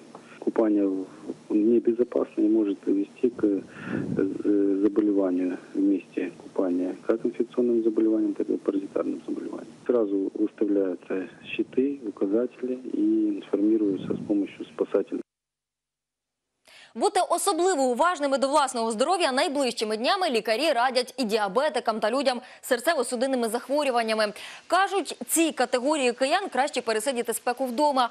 Якщо ж графік змінити неможливо, варто підбирати зручний світлий одяг з натуральних тканин. Не треба забувати і про головні убори. Чим довші криси капелюха, тим ліпше. Затінок від них має повністю сховати вуха, ніс та обличчя. Очі від ультрафіолету обов'язково рятувати окулярами і не соромитись відбивати сонячні атаки парасолею, радять медики. Води слід споживати не менше двох літрів, але не солодкої. А ще повністю відмовитись від алкоголю і внести корективи в меню. Наразі це вся інформація. Більше розповім уже о 9 Ну а зараз Влад та Настя продовжать ранковий ефір і обов'язково продовжать підіймати ваш настрій. Юлічко, дякуємо тобі за чергову порцію свіжої інформації. Чекаємо тебе вже менше аніж за годинку з новою та актуальною інформацією. Ну а ми з Владом із задоволенням продовжуємо наш ефір і закликаємо вас прокидатись разом з нами, адже початок дня в компанії команди ранку по київськи це завжди цікаво, драйвово та інформативно. Отже, у найближчі півгодини ви дізнаєтесь, як народився повітряний повітряний десерт під назвою Блискавка і чому він такий популярний у світі? Не забуваємо про подорожі. Напередодні ми дізналися про туристичні принади Нью-Йорка. А сьогодні вирушимо до південної Пальміри. Також ви дізнаєтеся, як за допомогою простого передавача британець зі свого гаража зміг налагодити зв'язок з міжнародною космічною станцією. Отже, залишайтеся на хвилі позитиву та літньої бадьорості разом з улюбленим телеканалом. Ефір ранку по-київськи продовжуємо добірку актуальної інформації. Отже, житлово-комунальні господарства України готові до осінньо-зимового періоду на 65%. Про це повідомив заступник міністра регіонального розвитку, будівництва та житлово-комунального господарства Едуард Кругляк. За його словами, це стосується підприємств теплоенергетики, житлового фонду, суб'єктів водопровідного та каналізаційного господарства. Окрім того, наразі триває заміна теплотрас, встановлюються альтернативні котли. Йдеться у повідомленні. В Україні запроваджують фото та відеофіксацію порушень правил дорожнього руху. Відповідний закон підписав Петро Порошенко. Повідомляє прес-служба президента. Згідно з документом, нововведення мають покращити безпеку дорожнього руху і знизити рівень травматизму. Крім того, запроваджується новий від, вид адміністративного стягнення. Штрафні бали також встановлюється розмір штрафу, а підрозділам патрульної служби МВС надають повноваження щодо розгляду справ про адміністративні правопорушення. Йдеться в повідомленні. Рухаємося далі. 23 та 24 серпня у столиці відсвяткують День Незалежності. Про це повідомив перший заступник голови адміністрації президента Віталій Ковальчук. За його словами, 23 серпня на Софійській площі пройде офіційний захід за участі Петра Порошенка з церемонією підняття державного прапора. Окрім того, там відбудеться виставка меморіальних реліквій, а в парку слави вшанують пам'ять загиблих воїнів АТО. На відміну від минулого року, 24 серпня військового параду із бойовою технікою не буде. Натомість хрещатиком пройде марш незалежності, підкреслив Ковальчук. У Києві прибрали понад 30 нелегальних рекламних носіїв великих форматів. Про це повідомила директор КП «Київреклама» Наталія Гончарова. За її словами, частина незаконно встановлених щитів, телеекранів і об'ємно-просторових тумб зникла з районів столиці. Очищення Києва від незаконної реклами – це одне з пріоритетних завдань міської влади. З квітня працівники комунального підприємства прибрали майже 1400 незаконних рекламних носіїв. На Кременчуцькому нафтопереробному заводі стався вибух. Про це повідомили в прес-службі управління Міністерства внутрішніх справ Полтавської області. Згідно з інформацією, інцидент відбувся 6 серпня. Ємність для збереження мазуту пошкодилася, внаслідок чого розлилося 5 кубів рідини. Постраждалих немає. Більш детально про подію нам розповість Світлана Рибалко. Керівник прес-служби головного управління ДСНС України в Полтавській області. Вона наразі з нами на прямому телефонному зв'язку. Доброго ранку. Ви нас чуєте? Доброго ранку. Отже, скажіть, будь ласка, чи можна говорити про попередні причини та матеріальні збитки? Е, Про матеріальні збитки поки що ми не можемо говорити, поки що немає матеріальних збитків у нас. Е, Про попередню причину е, несправність запобіжного клапану, тобто причина е, технічного характеру. Пані Світлано, скажіть, будь ласка, як відбувалася ліквідація наслідків аварії? Скільки було задіяно техніки та власне особового складу? Так, значить, е, внаслідок цієї події там частково зірвало кришку з резервуару, і в корпусі утворилася тріщина. Через цю тріщину витікав мазут і, і в обладнання, яке знаходиться безпосередньо біля цієї ємності. І в ліквідації наслідків було задіяно 5 одиниць техніки та 21 чоловік е, особового складу підрозділів головного управління Державної служби з надзвичайних ситуацій України Полтавській області. Е, Так, наші працівники ними вживалися заходи щодо попередження загорання розлитого мазуту шляхом подачі піни на місце розливу. А також проводилися заходи по злиттю мазуту в підземний аварійний резервуар та недопущення е, виникнення його горіння. Скажіть, будь ласка, цей інцидент взагалі зараз може завдати якоїсь шкоди навколишньому середовищу або ж е, взагалі людям? Чи можна спокійно не, не переживати ні за що? Можна спокійно не переживати ні за що, тому що е, сам мазут він е, ну.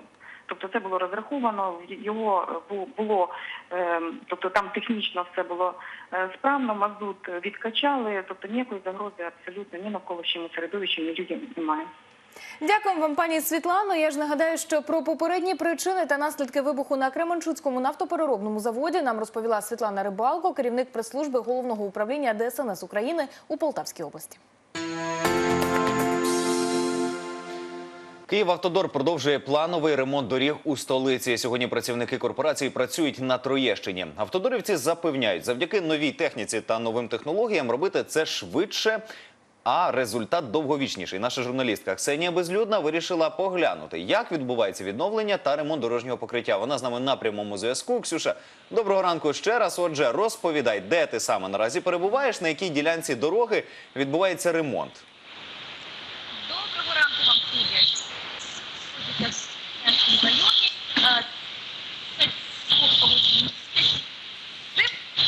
За моєю спиною активна вже йде робота. А саме як вона відбувається, е, її контролює обов'язки голови перший заступник голови Деснянської районної адміністрації Рохмалюк Віктор. Доброго ранку. Розповідайте нам.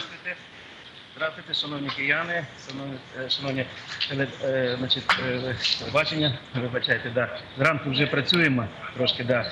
Значить, е, хочу сказати, що сьогодні ми знаходимося за адресою Маяковського 17, де нас наші корпорації «Київтодор» виконує роботи по влаштуванню асфальтового покриття. Хочу зазначити, що в цьому році по нашому району дійсно виконується нечувана програма. Це майже 110 об'єктів на загальну суму близько 19 мільйонів. Хочу сказати, що дуже багато вже об'єктів зроблено. Майже 50 об'єктів виконано по програмі, де замовником виступає сама Деснянська адміністрація. Зараз Київ операція Київавтодор по іншим об'єктам працює. Виконано вже три об'єкти. І зараз ми знаходимося на самому великому об'єкту. Це Маяковська 17, 17 е, е, А, 17 е, Б, де у нас близько 4 тисяч метрів квадратних асфальтового покриття. Воно було дуже дуже в поганому стані. На сьогодні воно вже наполовину виконано, і зараз ми цю роботу на протязі останніх будемо закінчувати. Тому е, звертаюся до наших е, мешканців, які ви зручності, але е, після виконання цих робіт у нас буде хороші приїзди, хороші під'їзди і буде в належному стані. Е, Хочу ще зазначити, що ще не всі ці об'єкти будуть виконані в цьому році, але ми, отримуючи сьогодні звернення наших мешканців через пересувні прийоми нашого мера, формуємо проєкт програми на слідуючий рік і обов'язково цю роботу будемо продовжувати. Тому звертаємося до киян підтримувати нас в подальшому. Ми зі своєї сторони прикладемо максимум зусиль для того, щоб наш район був один із кращих. Дякую. Скажіть, будь ласка, а як взагалі довго може прослужити ось це нове покриття? І взагалі, який це ремонт виконується? Е, Це більше це капітальний ремонт, чи, скажімо Е, Я так, хочу сказати, що е, ремонт він виконується сьогодні силами нашого спеціалізованого управління Деснянського району, ШЕУ, яка входить до корпорації. Якість на сьогодні і матеріалів, і робіт вона дуже дуже хороша. Вона е, жорстко контролюється. Тому е, е, на сьогодні гарантія не менше 8 років.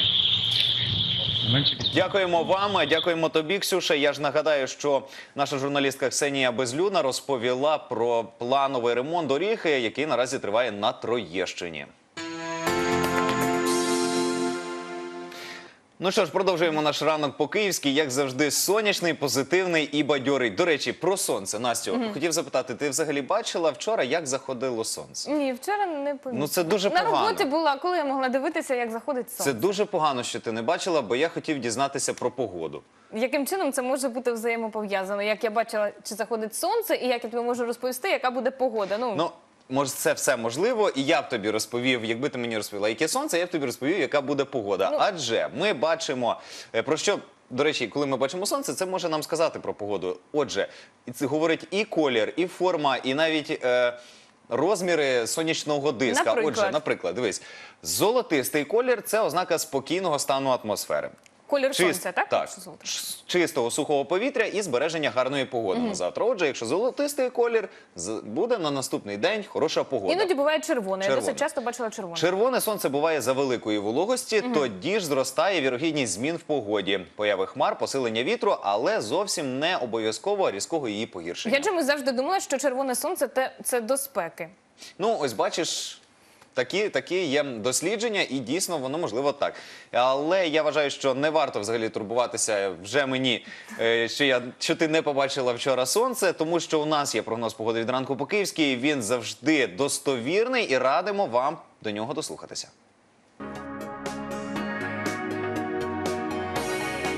Сьогодні на заході України протягом дня пануватиме спека. Температура повітря в день становитиме плюс 34, а ввечері 19 градусів тепла.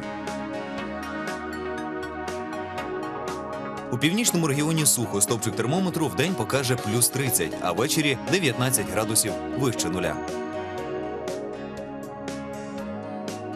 У східних областях сьогодні без опадів. Температура повітря в день зафіксується на позначці плюс 27, а ввечері опуститься до 17 градусів тепла. На півночі нашої країни опади не передбачаються. Вдень повітря прогріється до 32 градусів, а ввечері буде трохи прохолодніше 21 градус із позначкою плюс. У Києві сьогодні спекотно стопчик термометру в день підніметься до 32 градусів, а ввечері знизиться до 20 градусів вище нуля.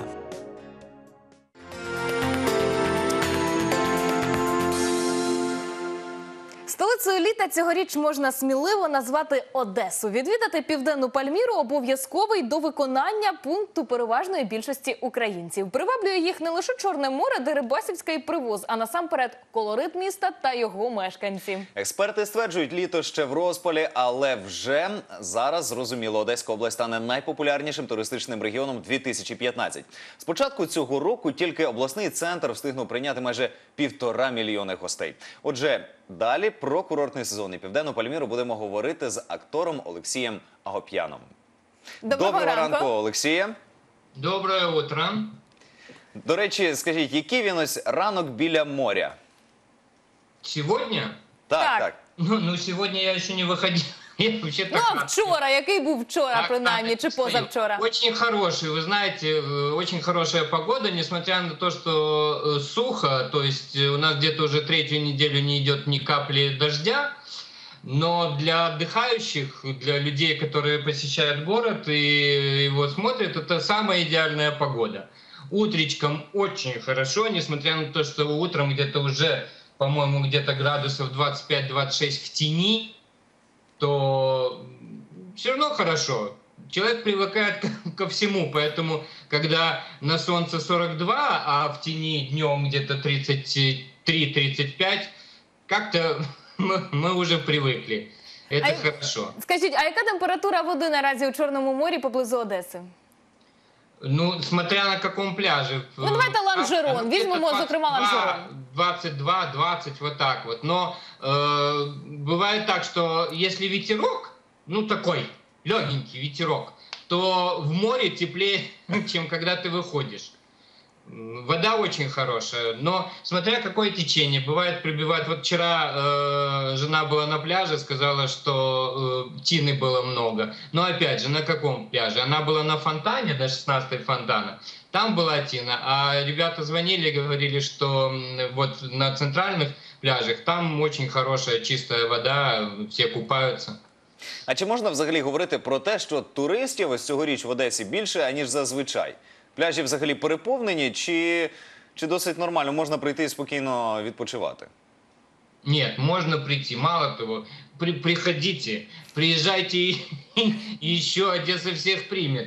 Эм, Нет, народу, э, конечно, с э, прошлым годом, на мой взгляд, не знаю, я, я же не специалист, я не, подсчи- не хожу по пляжам, не подсчитываю количество людей, э, сколько людей. Но, на мой взгляд, чуть больше людей. Но все равно это как бы не то количество, которое может принять Одесса вообще и пляжи тем более, потому что, ну вот мы захотели просто устроить маленький пикничок, ну так настроение было. Э, Спустились, э, мы живем на фонтане, спустились на 13-ю фонтана. И буквально э, вот 16 чуть левее, правее, ну как вы говорите, все, или как одесситы говорят, все забито. А вот чуть-чуть левее, 13 мы спокойно нашли э, свобо- практически свободное кафе. Эм, Пожалуйста, можно, мы договорились, как бы, ну, свои местные договорились. Все, что хотели принести свое из там, еды или э, спиртного, пожалуйста, принесли. Все, что не хватало, докупили, отдохнули. Прекрасно. Сидишь, ешь, пьешь. Тут же море, отдыхаешь. И э, работают они, ну, как это, ну, до последнего посетителя, что ли. Ну, или практически круглосуточно. Ну ось відпочили біля моря, поїли, попили, а захотілося вийти в місто. Е, Який як краще і цікаво провести вечір в Одесі? Що цікавого пропонує, е, пропонує нам це місто?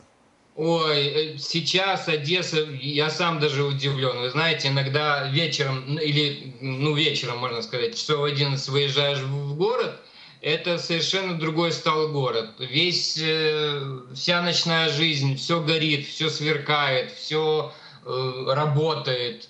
Э, Очень много стало кафе, ресторанов новых и интересных, и оригинальных.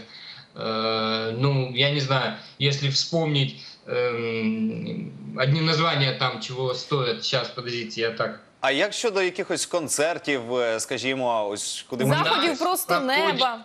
У нас, я даже перестал э, следить, но очень много стало фестивалей всевозможных, различных. Потом, э, ну, театры, пожалуйста, театры, я как актер с удовольствием приглашаю всех в театр, потому что э, у нас очень хороший репертуар стал, и антреприз много, и э, оперный, это обязательно каждый, кто посещает Одессу, обязан попасть в этот театр. Мало того, что это жемчужина Одессы, как э, и архитектурная красота его, и внутри это очень красиво. И репертуар сейчас стал очень хороший, и эм, качество спектаклей выросло гораздо, выросло, потому что стали многие современные э, постановки э, сейчас в оперном. Олексію, дякуємо вам за те, що знайшли час з нами поспілкуватися. Дякую, що вийшли з нами на зв'язок. Сподіваюся, не востаннє. Я ж нагадаю, що про курортний сезон в Одесі ми говорили із актором Олексієм Агоп'яном і врешті дійшли висновку, що в Одесу варто їхати, і у нас для цього є ще принаймні місяць. Цей десерт створив кондитер, якого сучасники називали король шефів і шеф королів. Марія Антуан Карем був 15-ю дитиною в родині. Тож іще немовлям батьки залишили його біля фортечної стіни Парижа, аби той не обтяжував їхній бюджет. Попри злидні, холод і голод, Марі Антуан знайшов притулок. Виховувати хлопчика взявся місцевий трактирщик, де згодом той активно допомагав на кухні. Врешті Марія Антуану настільки припала до душі кондитерська справа, що він вирішив присвятити їй усе своє життя. Спершу працював головним по тортам у відомому паризькому готелі Галіфет. Далі відкрив власну кондитерську, аж поки не став шеф-куфарем угадай, вгадай кого Наполеона. Нічого собі. Колеги Марі Антуана високо цінували його за вміння працювати із заварним тістом. І саме завдяки йому тістечко Еклер з'явиться в Ліоні в 1850 році. Класичний французький еклер готують тільки із заварним кремом. Утім, наша Юлія Гур'янова розшукала кухаря, котрий пропонує альтернативний варіант до сніданку.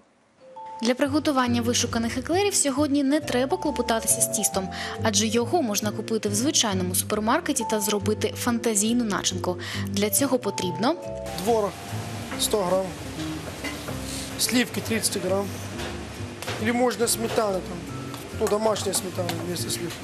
Ретельно перемішуємо суміш. Далі до неї додаємо ванільний і звичайний цукор та трохи вишневого джему. Отримана начинка має бути середньої консистенції, тобто не надто рідкою або густою. Далі надрізаємо наші еклери вздовж та заправляємо сирною сумішю. Готову страву прикрашаємо фруктами та викладаємо на тарілку. Посипаємо меленим грецьким горіхом та поливаємо улюбленим джемом. Наши приготовления готовы, приятного аппетита. –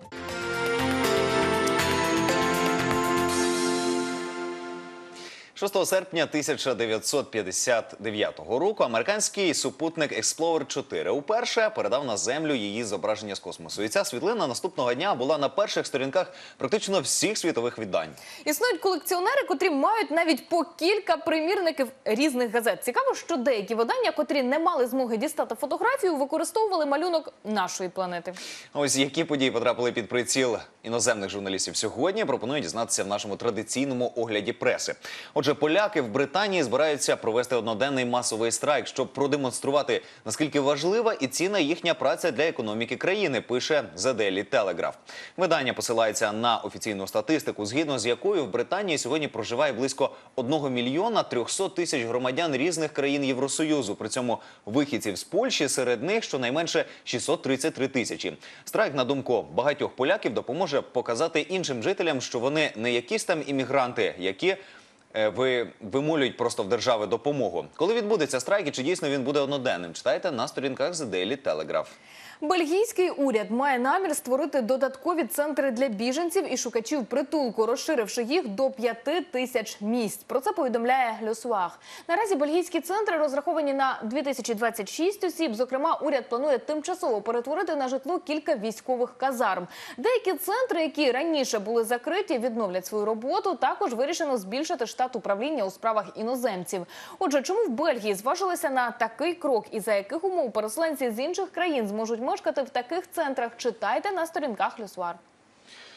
Радіоаматор з англійського міста Клоуфорд налаштувався на хвилю передавача міжнародної космічної станції. і Зміг поспілкуватися з американським астронавтом. Повідомляє BBC.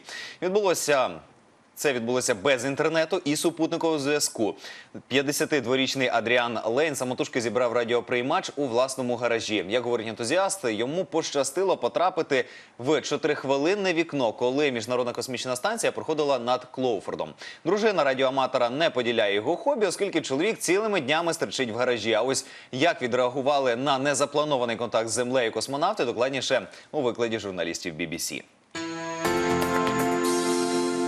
Ще раз зичимо вам доброго ранку. Дякуємо, що залишаєтеся з каналом Європейської столиці і радимо не перемикати. Адже наступні півгодини будуть сповнені цікавої та позитивної інформації. Зокрема, ви дізнаєтеся про незвичайні готелі для людей та ще більш незвичайні для тварин. Розповімо. Як образи, обриси якого замку використовував Уолт Дісней для створення фірмового знака своєї компанії, та якими спорудами може пишатися Україна? Наприкінці години разом з Наталією Розумій, де будемо відзначати Всесвітній день офтальмолога. А заразом дізнаємося, як вберегтися від порушень зору та що робити, якщо проблеми вже виникли. Не перемикайте, адже традиційно буде цікаво.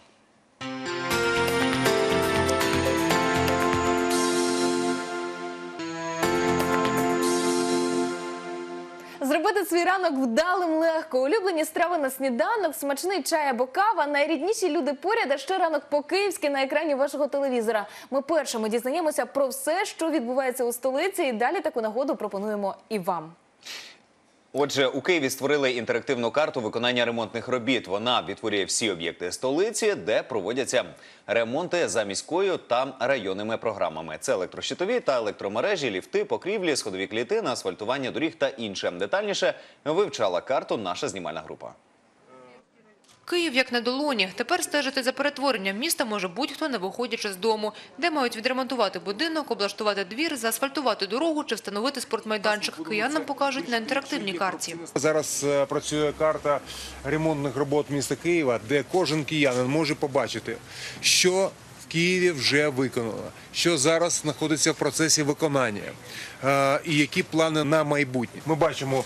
Тут ті роботи, які виконуються, е, ремонти ліфтів, приду- прибудинку- території, е, сходові клітини, е, покрівлі і так далі. Тобто всі роботи, які відбуваються в місті Києві. На інтерактивній мапі за кожною адресою можна переглянути не лише перелік виконуваних робіт, а й документи на них. Наприклад, на вулиці Бубнова 5 запланували встановити новий ігровий майданчик. І справді, там роботи з облаштування дитячої зони майже завершено. Особливо цьому радіє малеча. Конечно, довольны, потому что старая была только горка, качели быстро развалились. А сейчас так интересно, что будет площадка, будет классно, можно будет на качелях покататься. То ходили вот туда, в соседние дворы, чтобы покататься на качелях с горки. Наразі на карті зображено усі 2000 столичних об'єктів, де цього року мають відбутись оновлення, а також попередні плани на 2016. Внести свої пропозиції щодо ремонту будинку можуть і кияни. Для цього варто звернутися до громадської приймальні мера або за номером 1551. В план цього року ви потрапили роботи, е, з якими з проханням проведення яких зверталися мешканці на 1551, перевірили найбільш дійсно пріоритетні, і вони потрапили в програму цього року.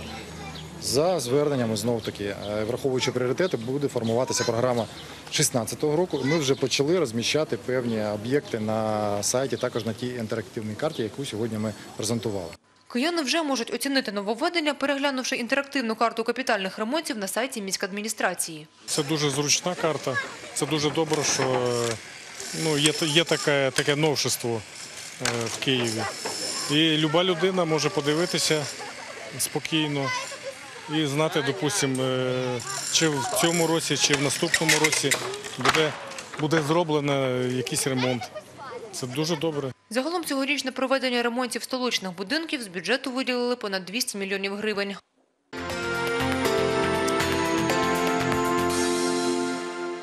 Кияни відкриють унікальні архівні документи. Про це йдеться у заяві директора департаменту суспільних комунікацій Марини Хонди. За її словами, до Дня Незалежності вийде спеціальний випуск газети Вечірній Київ, а також документальний фільм. Крім того, того місця планується е, організувати цього місяця. Планується організувати круглий стіл, на якому обговорюватимуть національно-патріотичні теми. Йдеться в повідомленні. Рухаємося далі. У Києві відкрито інформаційно-консультативний центр Київського міського центру зайнятості для переселенців та воїнів АТО. Про це повідомляє прес-служба департаменту суспільних комунікацій КМДА. Відомо, що там будуть консультуватися і роботодавці, і населення. Роботу організовано за трьома напрямами: надання послуг населенню, надання послуг роботодавцям і посилення соціального діалогу. У Києві відбудеться ярмарок медовий спас. Про це повідомляє прес-служба КМДА. Згідно з інформацією, проходитиме він з 14 по 23 серпня в парку Перемога. Відвідувачі зможуть придбати мед та продукти бджільництва. Крім того, на ярмарку будуть організовані концертні програми та різноманітні пікніки. Йдеться в повідомленні. Захід відбуватиметься за підтримки київського міського голови Віталія Кличка. У Києві облаштують червоно-білі пішохідні переходи. Про це повідомили у прес-службі комунального підприємства «Київавтодор». Згідно з інформацією, переходи розміщуватимуть у потенційно небезпечних місцях. Зокрема, новенький перехід уже з'явився на вулиці Старонаводницькій Печерського району столиці. Йдеться у повідомленні.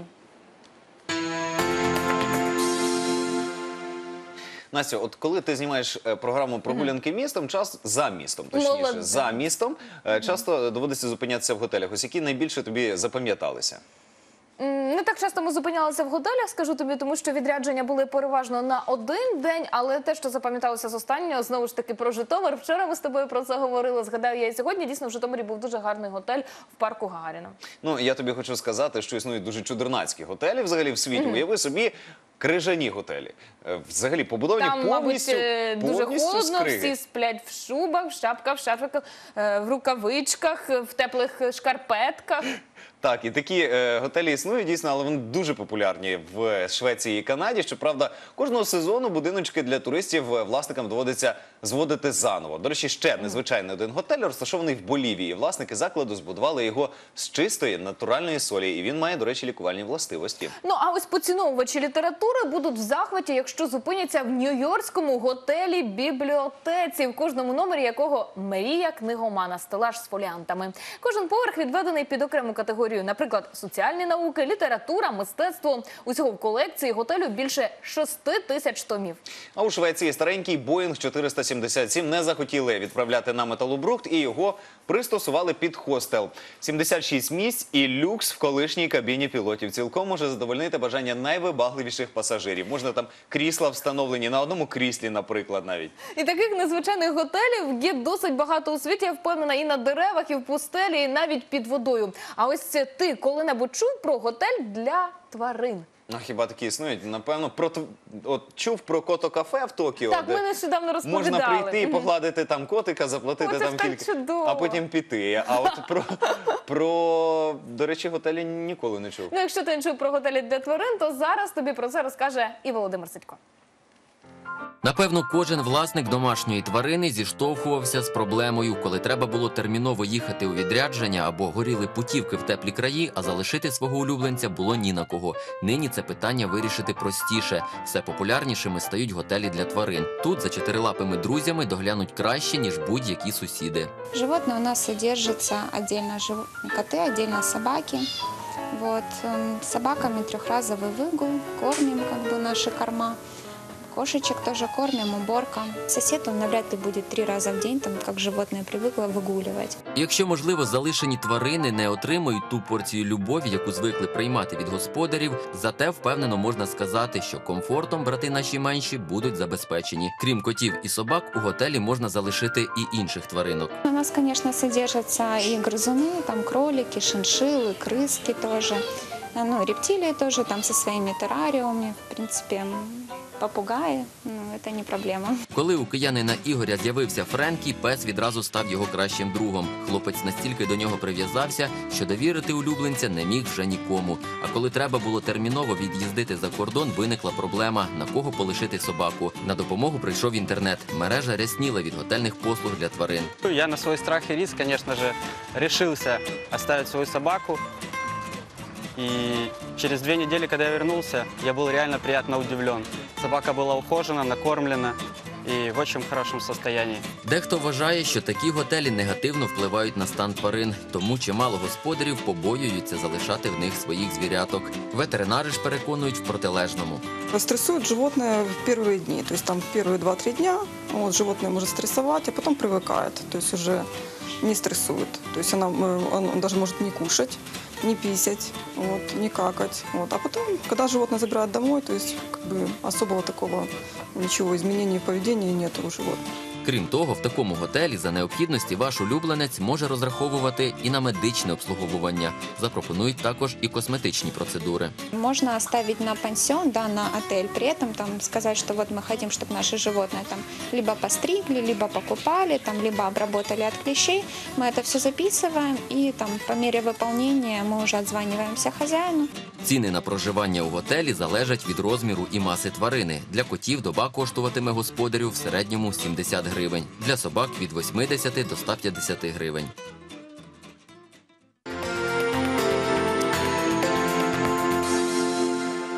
Наразі у столичних лікарнях перебувають кілька пацієнтів, хворих на лептоспіроз. Це гостра інфекційна хвороба, зараження якої відбувається через пошкоджену шкіру і слизові оболонки при купанні водоймах зі стоячою водою, при вживанні сирої води з природних водой, молока і м'яса заражених тварин. Більш детально про ситуацію з цим захворюванням нам розповість виконуючий обов'язки директора департаменту охорони здоров'я КМДА Алла Оришкович.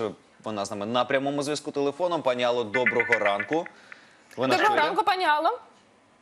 Доброго ранку, шановні кияни. Доброго ранку, студії. Отже, скажіть, будь ласка, скільки наразі е, вже відомо, скільки людей захворіло, і якщо говорити саме про хворобу, е, скільки який інкубаційний період має вона, і як є перші е, симптоми проявляються?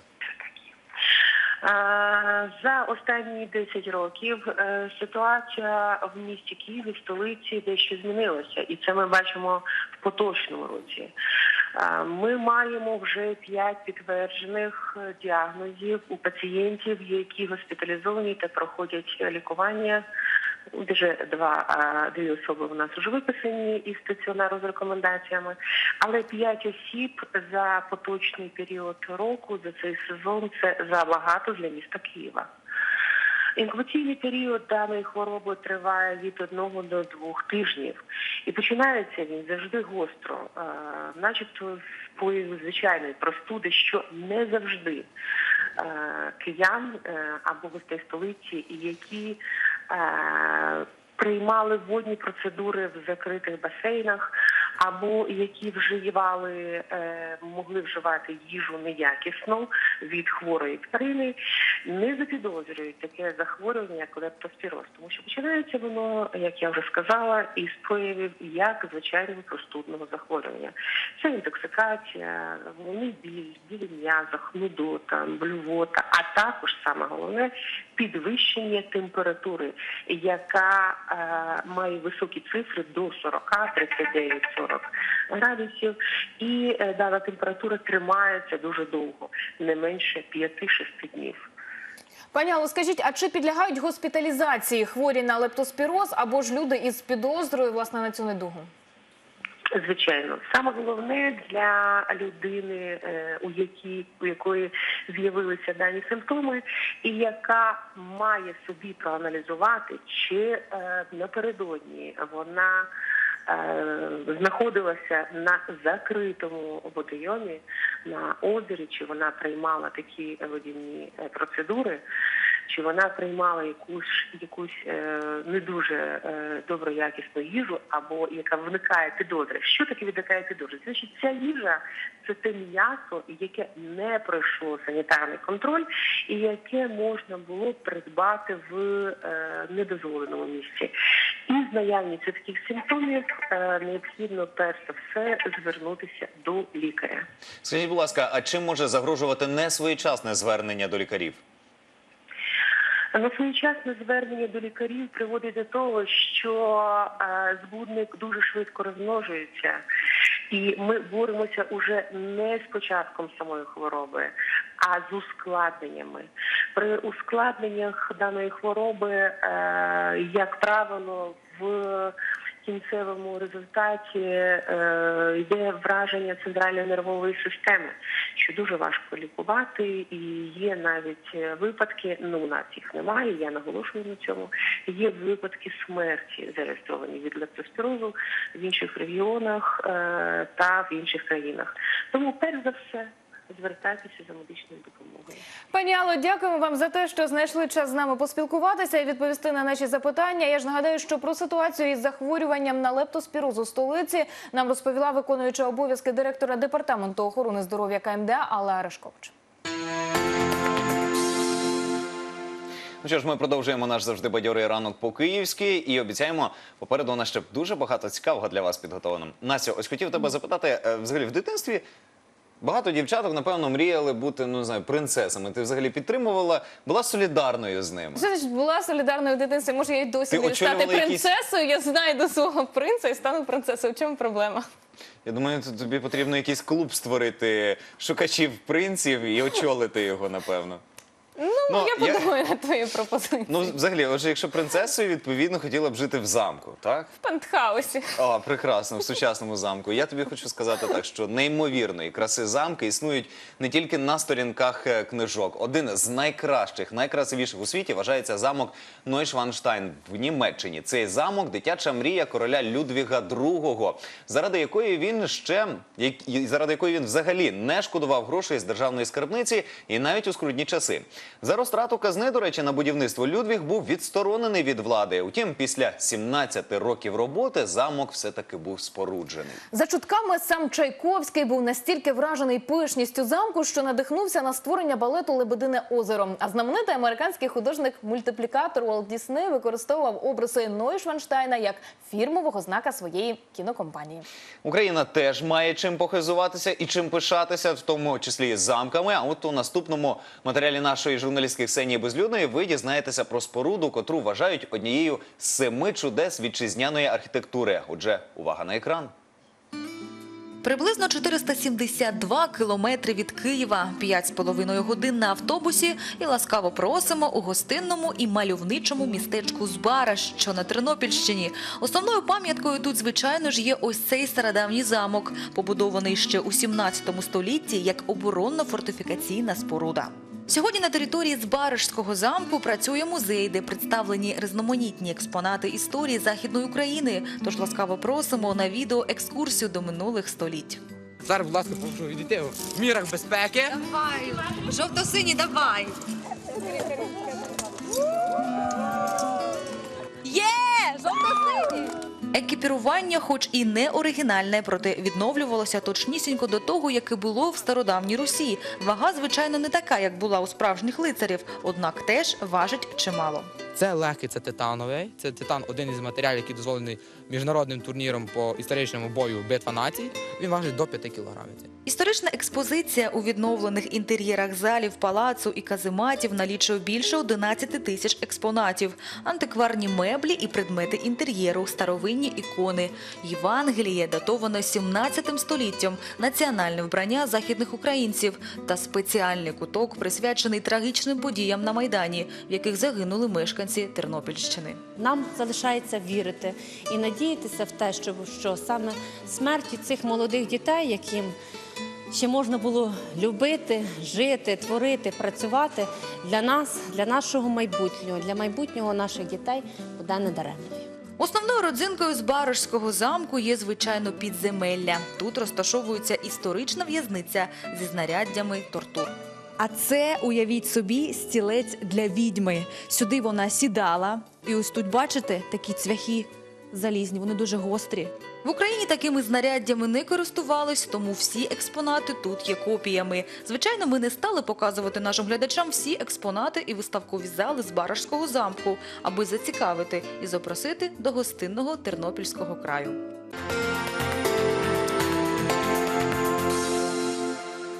Людське око один із найскладніших органів, який отримує інформацію у вигляді світла та зображення, а потім передає її в головний мозок. Вчені встановили, що майже 90% всього обсягу інформації про навколишній світ ми отримуємо за допомогою очей.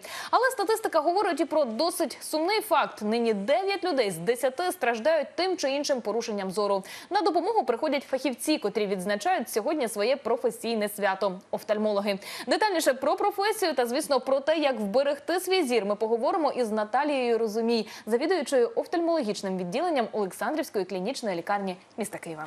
Доброго ранку, Доброго ранку, пані Наталі. Доброе утро всім. Вітаємо вас з професійним міжнародним святом. Бажаємо, щоб і наснаги, і здоров'я. Дякуємо за те, що бережете зір наших е, і Глядачів, наших глядачів. всіх. Спасибо. Отже, взагалі, е, як ну таке досить стандартне, можливо, запитання, але мало людей хто знає, е, скільки разів потрібно перевіряти очі. І, до речі, е, чи це залежить від віку? Я, наприклад, пам'ятаю, що коли ходив в школу, обов'язково я перевіряв перед. е, Початком навчального року і після, взагалі, для дорослої людини, для дітей і для людини вже більш у віці. Ну, стандартно проверять э, остроту зрения надо раз в году. Если есть проблемы, то это уже другая э, история. То есть, как бы, если это пациент уже с заболеванием, там, с глаукомой, то в зависимости от его состояния надо проверять либо раз в полгода, либо раз в три месяца, в зависимости еще от давления. То есть у каждого пациента, ну, как бы э, свой режим посещения офтальмолога.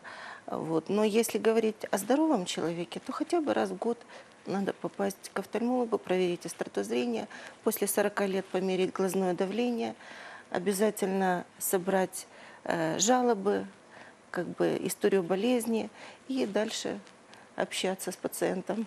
Ну а якщо говорити про статистику, наприклад, е, 10 років тому і сьогодні, чи збільшилася кількість людей, котрі звертаються до офтальмологів? Чи вплинули там телевізори, комп'ютери, різноманітні гаджети на зір? Конечно. Естественно, все э, вот э, современные технологии влияют и на зрение у детей, и на зрение у взрослых, и на жалобы, которыми приходят э, офисные работники. Конечно, все это влияет на состояние глаз, на слизистую глаз, на остроту зрения. То есть, да, увеличилось количество посещений, количество жалоб. Смотришь пациента, вроде бы все нормально, а он жалуется на э, слезотечение, боли в глазу, э, к концу дня устают глаза. То есть, конечно, надо обратиться к специалисту. Ось хотілося е, запитати, дуже часто е, люди купують окуляри спеціально для роботи з комп'ютером, з спеціальним покриттям. Е, Наскільки вони ефективні і чи можуть вони зашкодити і в якому випадку? Э, Повредить нет. А вот э, как бы насчет помощи, э, есть такое мнение, что э, линзы с покрытием защищают слизистую глаза. Но в последнее время многие назначают, как бы вот выявили, что есть такой синдром сухого глаза, который присутствует при работе с персональным компьютером у офисных работников. Поэтому назначают увлажняющие капли. Сейчас на рынке их очень много. А, Каждому пациенту надо выявить, э, какая степень сухости глаза, и от этого назначать препарат. А ви за- зазначили, що досить часто втома е, після робочого дня, що очі починають боліти. Е, Взагалі, і- я читав дуже багато різних існують різні вправи. е, для очей, для того, аби відпочивали очі. Наскільки вони ефективні? Там є різні методики і дуже багато Подивіться різних десь далеко далеко на заплющити, зелений поморгати. колір Це подивитися. допомагає. Це допомагає поліпшити кровообіг е, в самих судинах в оці, м'язи розслабити або навпаки напружити.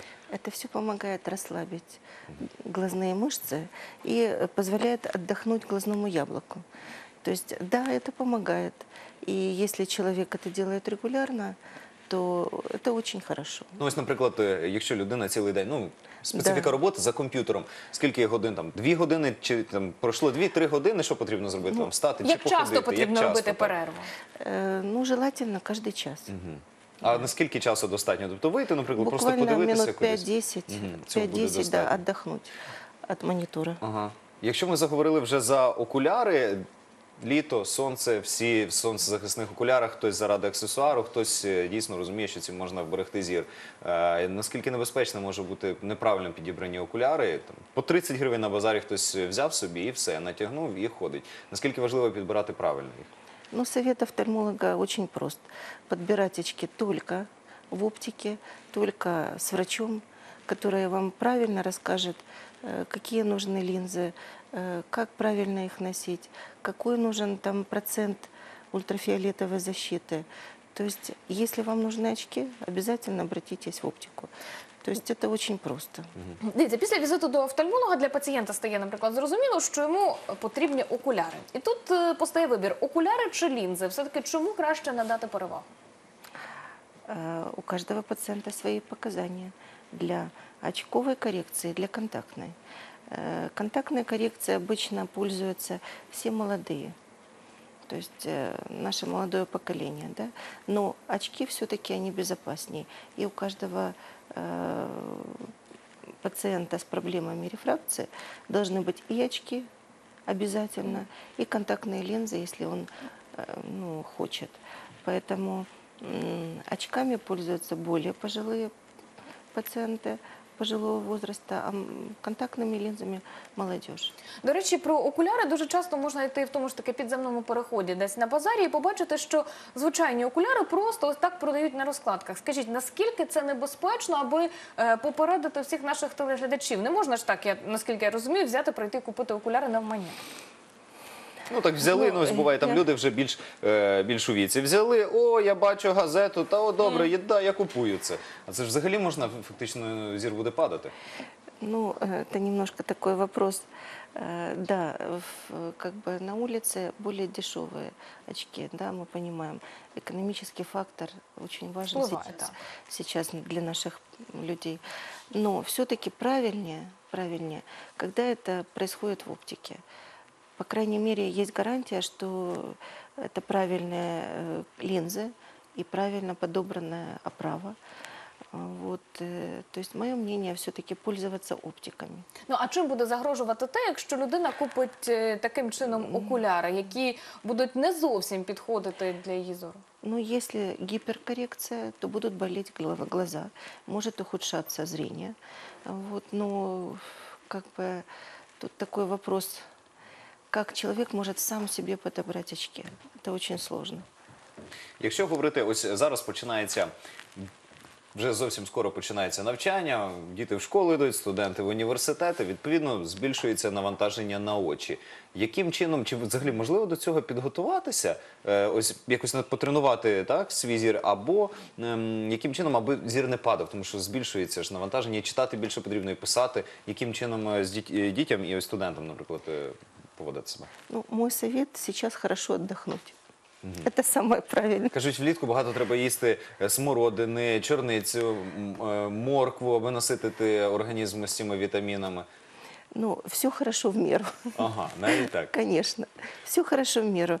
Хорошо отдохнуть, побольше плавать.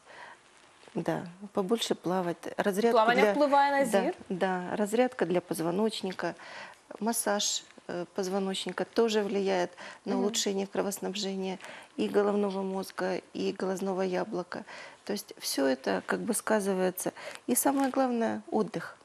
Всем деткам сейчас надо отдохнуть хорошо. Пані підготовимося. дуже дякуємо за те, що відповіли на наші запитання. Дякуємо, що завітали сьогодні до нашої студії. І ще раз вітаємо вас із професійним святом. Бажаємо, звісно, натхнення і хороших пацієнтів. А я ж нагадаю, що про те, як берегти свій зір та що робити, аби він не погіршувався, ми говорили із Наталою Розумій, завідуючою офтальмологічним відділенням Олександрівської клінічної лікарні міста Києва. Ну що ж, маємо на годинку вже 9 ранку, а це означає, що прийшов час новин. Юлія Боднар вже готова поділитися добіркою найсвіжішої інформації.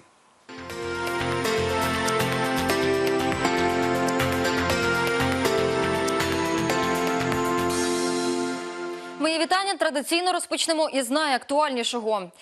Цієї ночі ситуація в зоні АТО суттєво загострилася. Російсько-терористичні війська з 18-ї години і до опівночі практично без перерви обстрілювали українські позиції у населених пунктах поблизу Донецька, повідомляють у штабі АТО. Із різних видів озброєнь ворог відкривав вогонь по пісках, Опитному та Авдіївці. Поблизу Красногурівки відбулося бойове зіткнення з противником, який намагався прорватися до нашого опорного пункту. Але українські бійці відстояли позицію.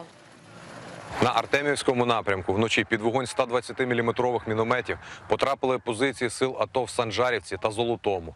А з 22.05 до 22.25, відверто ігноруючи мінські домовленості, противник вів вогонь з реактивних систем залпового вогню БМ-21 «Град» по Троїцькому. За ніч окупанти, двічі провокуючи наших військових зі стрілецької зброї, обстріляли Чермалик. Загалом протягом вчорашньої доби незаконні збройні формування 106 разів порушили режим припинення вогню. Президент України Петро Порошенко підписав закон, який передбачає запровадження автоматичної фотозйомки та відеофіксації порушення правил дорожнього руху. Про це повідомляє прес-служба президента. Крім того, запроваджується новий вид адміністративного стягнення. Штрафні бали установлюється розмір штрафу або кількості штрафних балів. Надаються повноваження щодо розгляду справ про адміністративні правопорушення патрульною поліцією. Квитанції за зафіксовані в автоматичному режимі порушення будуть надходити на адресу власників авто разом із доданими фото чи відеодоказами. Столичні поліцейські навчатимуть своїх колег в інших містах, розповів заступник начальника патрульної служби Києва Дмитро Євдокімов. За його словами, наразі враховуються усі юридичні та організаційні проблеми навчання та роботи нових патрульних.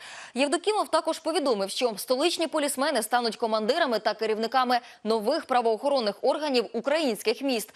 Нагадаю, уже з осені відбудеться конкурсний відбір до нової поліції в Тернополі, Вінниці, Рівному, Івано-Франківську та Чернівцях. В Україні можуть скасувати трудові книжки. З такою ініціативою виступив міністр економіки Айварас Абромавічус. За його словами, відомство підготувало пакет законів і направило на узгодження в інші органи. Заступник начальника Мінекономіки Юлія Ковалів повідомила, аби позбутися такого радянського пережитку, потрібно внести зміни у 22 закони. За півроку парк столичних автобусів поновлять 72 машини. Всі, що вийдуть на маршрути, відновлять на СТО «Київпастрансу». Їх реконструкція на власному підприємстві коштує удвічі дешевше, ніж робити це на замовлення, і у десятеро, ніж придбати новий автобус. СТО зробили за європейськими стандартами. Потужно ремонтна виробнича база дозволяє будувати фактично власні пасажирські машини. Тож, можливо, уже за рік-два столиця отримає київські автобуси, переконані у «Київпастрансі». Ми багато деяких запчастин, які там не потребують там стандартів, ми почали робити вже самі. Це практично вже міні-завод, такий, який може виконувати, виконує всі технологічні процеси. За последние полгода, как устроился на работу, здесь очень многое поменялось благодаря руководству. Учат, есть хорошие специалисты, есть очень хорошие люди, те, которые учат. Ремон- Ремонт делаем очень качественный, по машинам это видно. Выпускаем как можно больше машин, стараемся. С приходом нового руководства уже делаем такой углубленный ремонт, то есть и, меняем буквально все, приводим в порядок, то есть ну как с завода все получается. Через ремонтні роботи на Борщагівському колекторі тимчасово припинять водопостачання в окремих мікрорайонах столиці. Сьогодні до 18-ї години не матимуть води масиви Мінський, Оболонь, Пріорка та Куренівка. Також селище Шевченка, Рибальський острів, мікрорайони Вітряні гори, Мостицький, Виноградар. А ще Нивки та Серець у районі вулиці Дегтярівської. Це зроблять, аби зменшити навантаження на каналізаційну мережу, що дозволить виконати ремонтні заходи. Питну воду цілодобово надаватимуть ремонтуватимуть автоцистерни. Уточнити адреси їх розміщення можна за телефоном міського контакт-центру 1551 або в аварійній службі Київводоканалу. Бути особливо уважними до власного здоров'я найближчими днями лікарі радять діабетикам та людям з серцево-судинними захворюваннями. Кажуть, цій категорії киян краще пересидіти спеку вдома. Якщо ж графік змінити неможливо, варто підбирати зручний світлий одяг з натуральних тканин. Не треба забувати і про головні убори. Чим довші криси капелюха, тим ліпше. Затінок від них має повністю сховати вуха, ніс та обличчя. Очі від ультрафіолету обов'язково рятувати окулярами і не соромитись, відбивати сонячні атаки парасолею, радять медики. Води слід споживати не менше двох літрів, але не солодкої, а ще повністю відмовитись від алкоголю і внести корективи в меню. Харчування повинно бути яке легко засвоюється, більш такого рослинного, е, молоко, кефіри. е, Частіше їсти е, щоб не перевантажувати свій організм. Краще не їсти е, жирне, е, смажене, ну, м'ясне, таке тяжке, як кажуть. Ось такими були новини цієї години. Наступний випуск СТН уже о 13 Ну а зараз слово Владу та Насті. Їм також є чим поділитись. Юлічка, дякуємо тобі за свіжу порцію новин. Глядачам нагадаємо, що побачать тебе о 13 а ми ж бажаємо тобі вдалих вихідних. Ну а ми з Настею, у нас залишається все менше часу. Ми продовжуємо, але у нас не менше є цікавої інформації. Тож далі про Про те, як макіяж може стати загрозою для щасливого подружнього життя. наша Ксенія Безлюдна розповість, де у столиці подивитися фільми просто неба. Ну і наприкінці ефіру будемо говорити про перспективи розвитку вітчизняного кіно. Чекаємо у студії на режисера та сценариста Олега Фіалка. Тож перемикати не радимо, адже буде весело, цікаво і бадьоро. Аварію на колекторі на вулиці Борщагівській буде ліквідовано до 1 вересня. Трубопровід має важливе значення, адже забезпечує водовідведення мешканців Святошинського, частково Солом'янського та Шевченківського районів.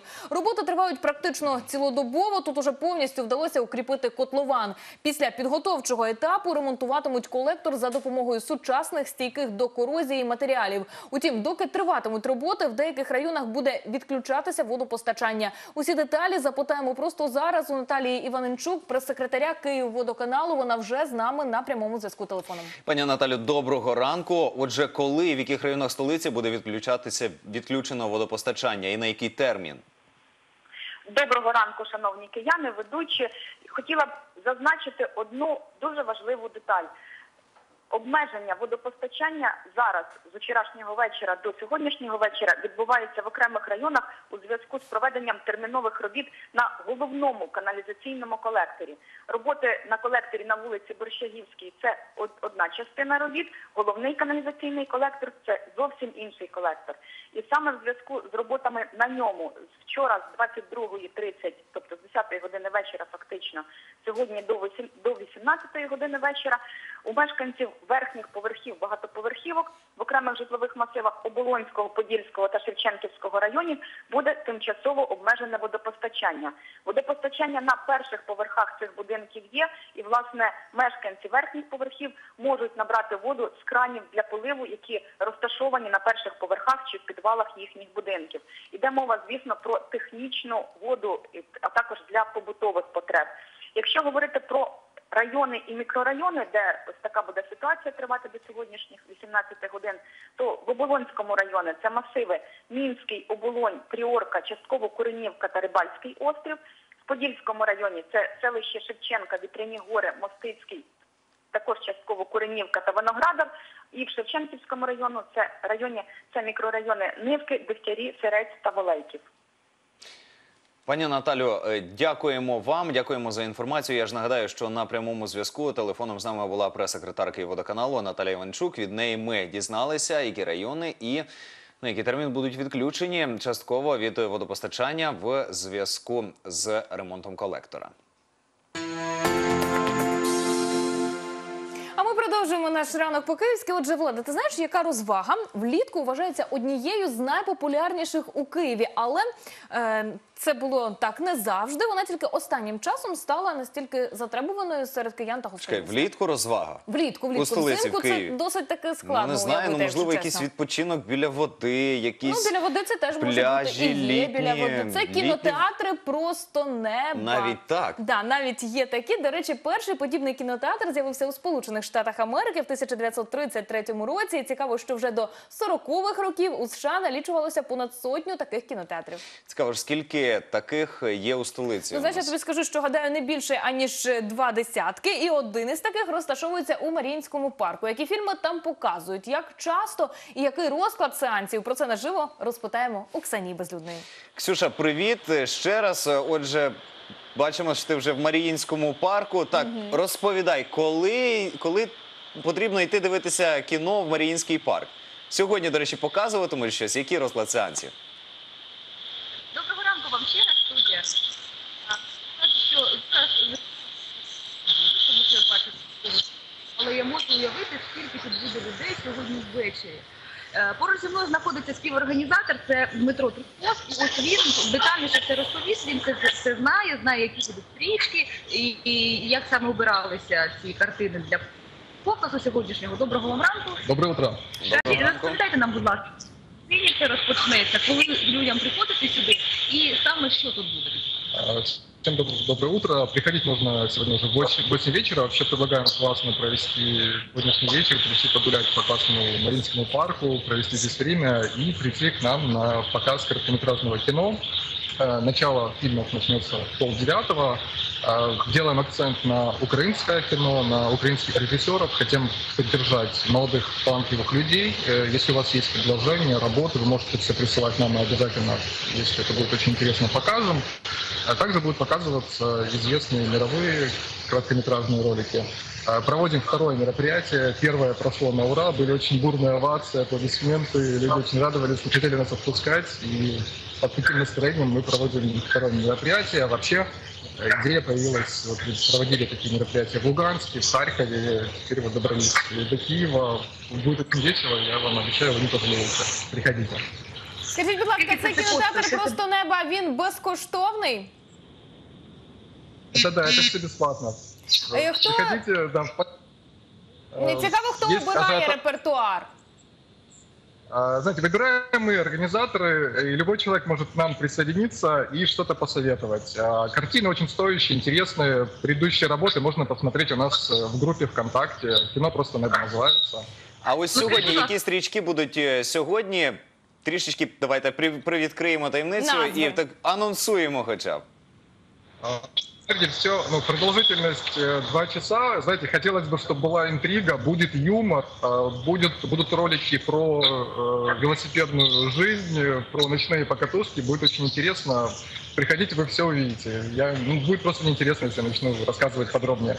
Ну що ж, е, тоді запрошуємо всіх е, сьогодні в Маріїнський парк. Е, Дякуємо вам. Дякуємо т- Ксюші Безлюдній. Вона нам розповіла про кінотеатр Просто небо, який розташовується в Маріїнському парку. Отже, всі охочі до кіно. Ну ж бо. І власне тему кіно ми продовжимо із нашим гостем, який з'явиться у студії ранку по київськи вже- за декілька хвилин. Про український кінематограф та перспективи його розвитку будемо говорити з відомим режисером та сценаристом Олегом Фіалком. Тож дочекайтеся і не перемикайте.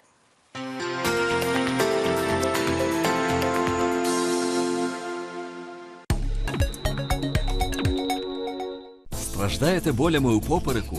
Вам боляче згинатися і ви змушені присідати? Вам боляче вставати і ви шукаєте опору? Вам боляче сидіти, лежати, а інколи навіть дихати? Біль у попереку при сидінні, диханні, уставанні просто руйнує життя людини. Сьогодні можна зупинити страждання. Унікальний корсет Spine Support надійно страхує ваш поперек і попереджує міжхребцеві диски від зміщень. Поперек тримає 60% маси всього тіла. Сидячий спосіб життя, зайва вага травмують міжхребцеві диски, і вони починають просідати. Виникають грижі, трапляються простріли, хребет втрачає амортизаційні властивості. Вдягніть Spine Support і відразу відчуєте його підтримуючу силу. 25 об'ємних пневматичних камер витягуються на 20 см, знімають навантаження і надійно страхують ваш поперек. Запишіть номер телефону і отримайте безкоштовну консультацію зараз. Перші 10 отримують знижку 30%. Spine Support надає тривимірну підтримку, що зменшує можливість травмувати вашу спину незалежно, що ви робите. Згинаєтесь, коли миєте підлогу або посуд, сідаєте чи встаєте, піднімаєте важкі речі, тренуєтесь чи дивитесь телевізор. Spine Support допоможе навіть при ходьбі. Це як пасок безпеки для вашого попереку. Люди не звертають уваги на болі у попереку. Потім витрачають купу грошей на лікування, але марно проблеми виникають знов і знов. Замисліться, навіщо доводити себе до крайнощів, коли вже зараз можна попередити та зупинити страждання. Все просто. Ви його вдягаєте, він вас підтримує. Spine Support дає вам підтримку, витягування, зігрівання та впевненість власних рухів. Сучасний дизайн та легка вага дозволяє носити Spine Support не тільки вдома, а й на роботі, в мандрівках за кермом автомобіля. Позбавте себе страждань вже сьогодні. Дзвоніть зараз. Перші 10 отримують знижку 30%.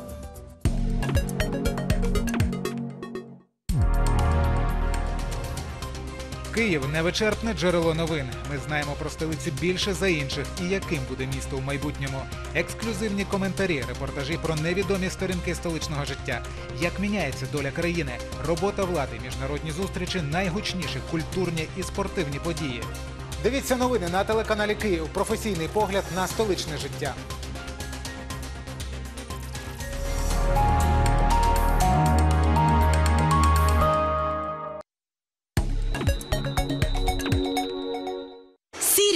Зірка безпеки.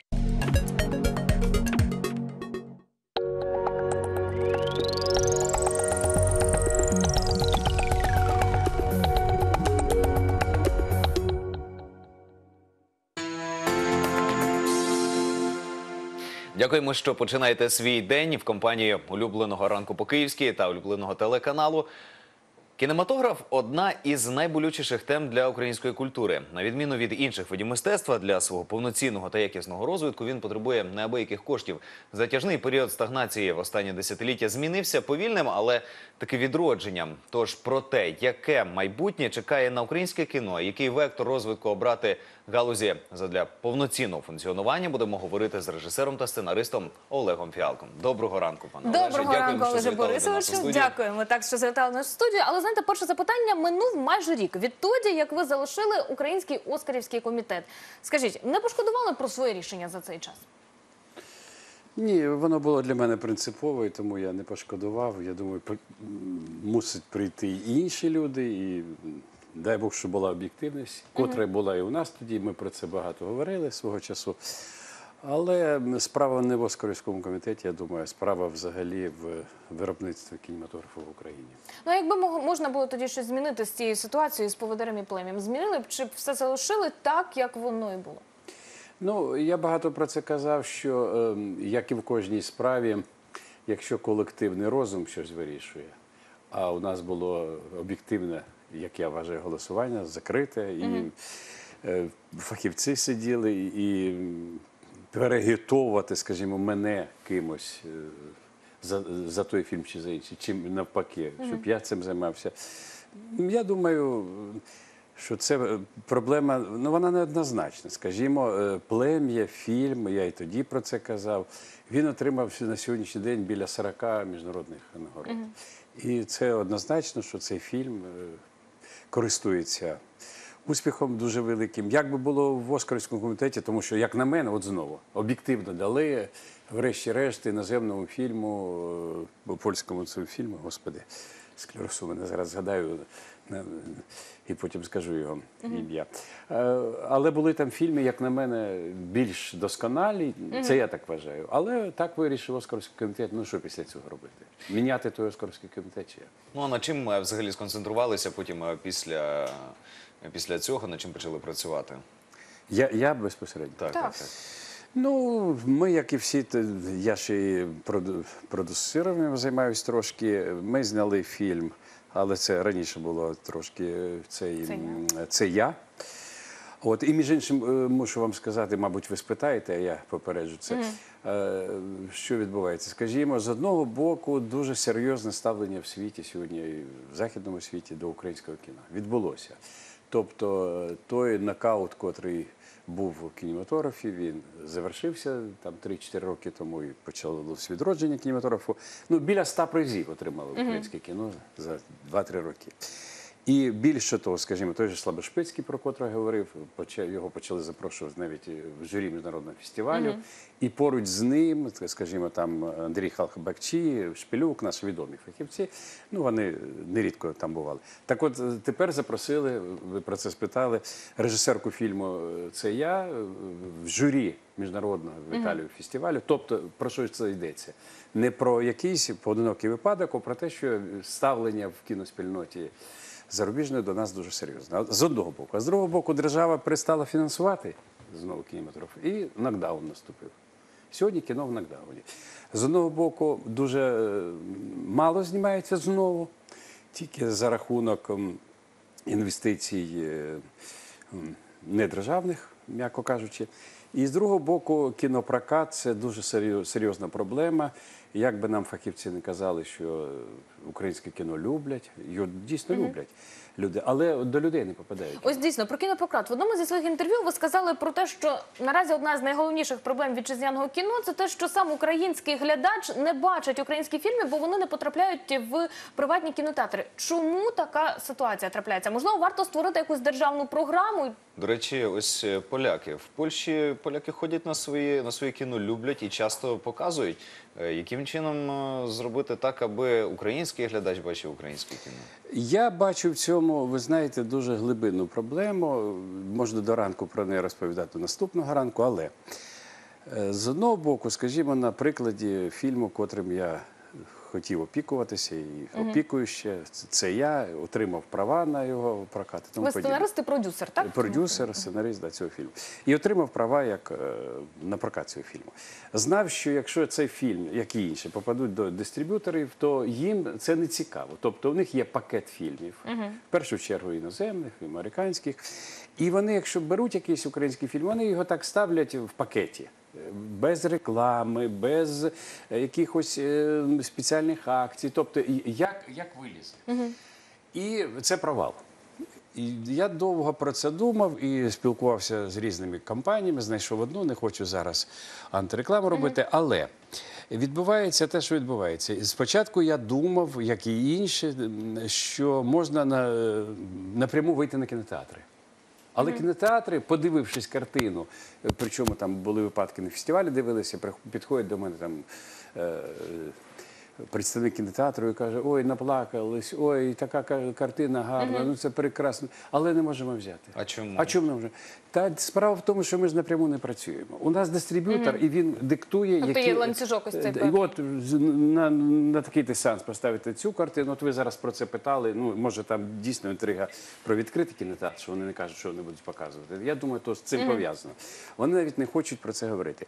І тобто, знову картина попадає, е, в- е, якщо вона попадає навіть завдяки кіно е, цьому дистриб'ютору, вона не має жодної підтримки. І коли навіть пропонуєш, ну давайте ми поїдемо по там місцях у Львів, у Тернопіль, там у Дніпропетровськ, ну наші славнозвісні вільні місця, да? і зробимо якусь е, промо-акцію. Ні, не хочуть вони цього робити. Тобто іде, де- іде А який гальмування. вихід з цієї ситуації? Ну, Кілька. Я думаю, що наш міністр е, він дуже добре робить, що займається е, АТО. Але йому Кириленко, йому треба за- зайнятися е, культурою і в першу чергу кінематографом.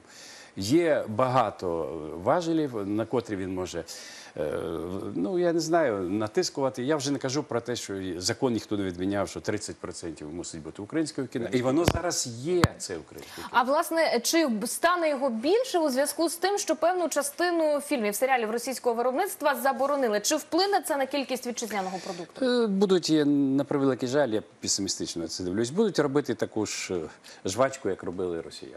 Тобто, ну, калька, але українською? Так, да, буде калька українською. Ну, Тобто конвейерне серіальне виробництво. Але невже це погано, враховуючи ту ситуацію, в якій наразі є наш весь кінематограф, є випускники вишів, які шукають собі роботи, є потенціал. Ви, ви розумієте, що робиться? Якщо тут же знову проблема, ну знову ми Проблема любимо- якості Проблема не тільки якості, проблема підходу взагалі. Якщо, скажімо, канал, я нікого не хочу образити, е, орієнтується на рейтинг. І у нього рейтинг е, вже існує в якомусь напрямі. Да? Збити е, підхід практично неможливо. Ну, ми дивимося з вами якусь там е, картину чи які, якусь передачу. Ну, вона за якістю просто не відповідає жодному стандарту. Але кажуть, а рейтинг є, глядач дивиться. І воно буде продовжуватися до тих пір, поки. Так і з кінематографом.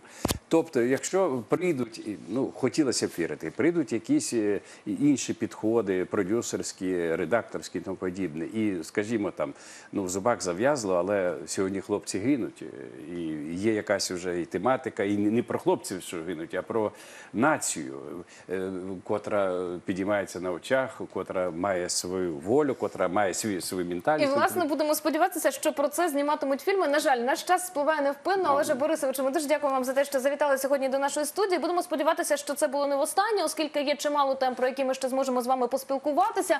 Я ж нагадаю, що із режисером, сценаристом і продюсером Олегом Фіалком ми спілкувалися про український кінематограф та його перспективи.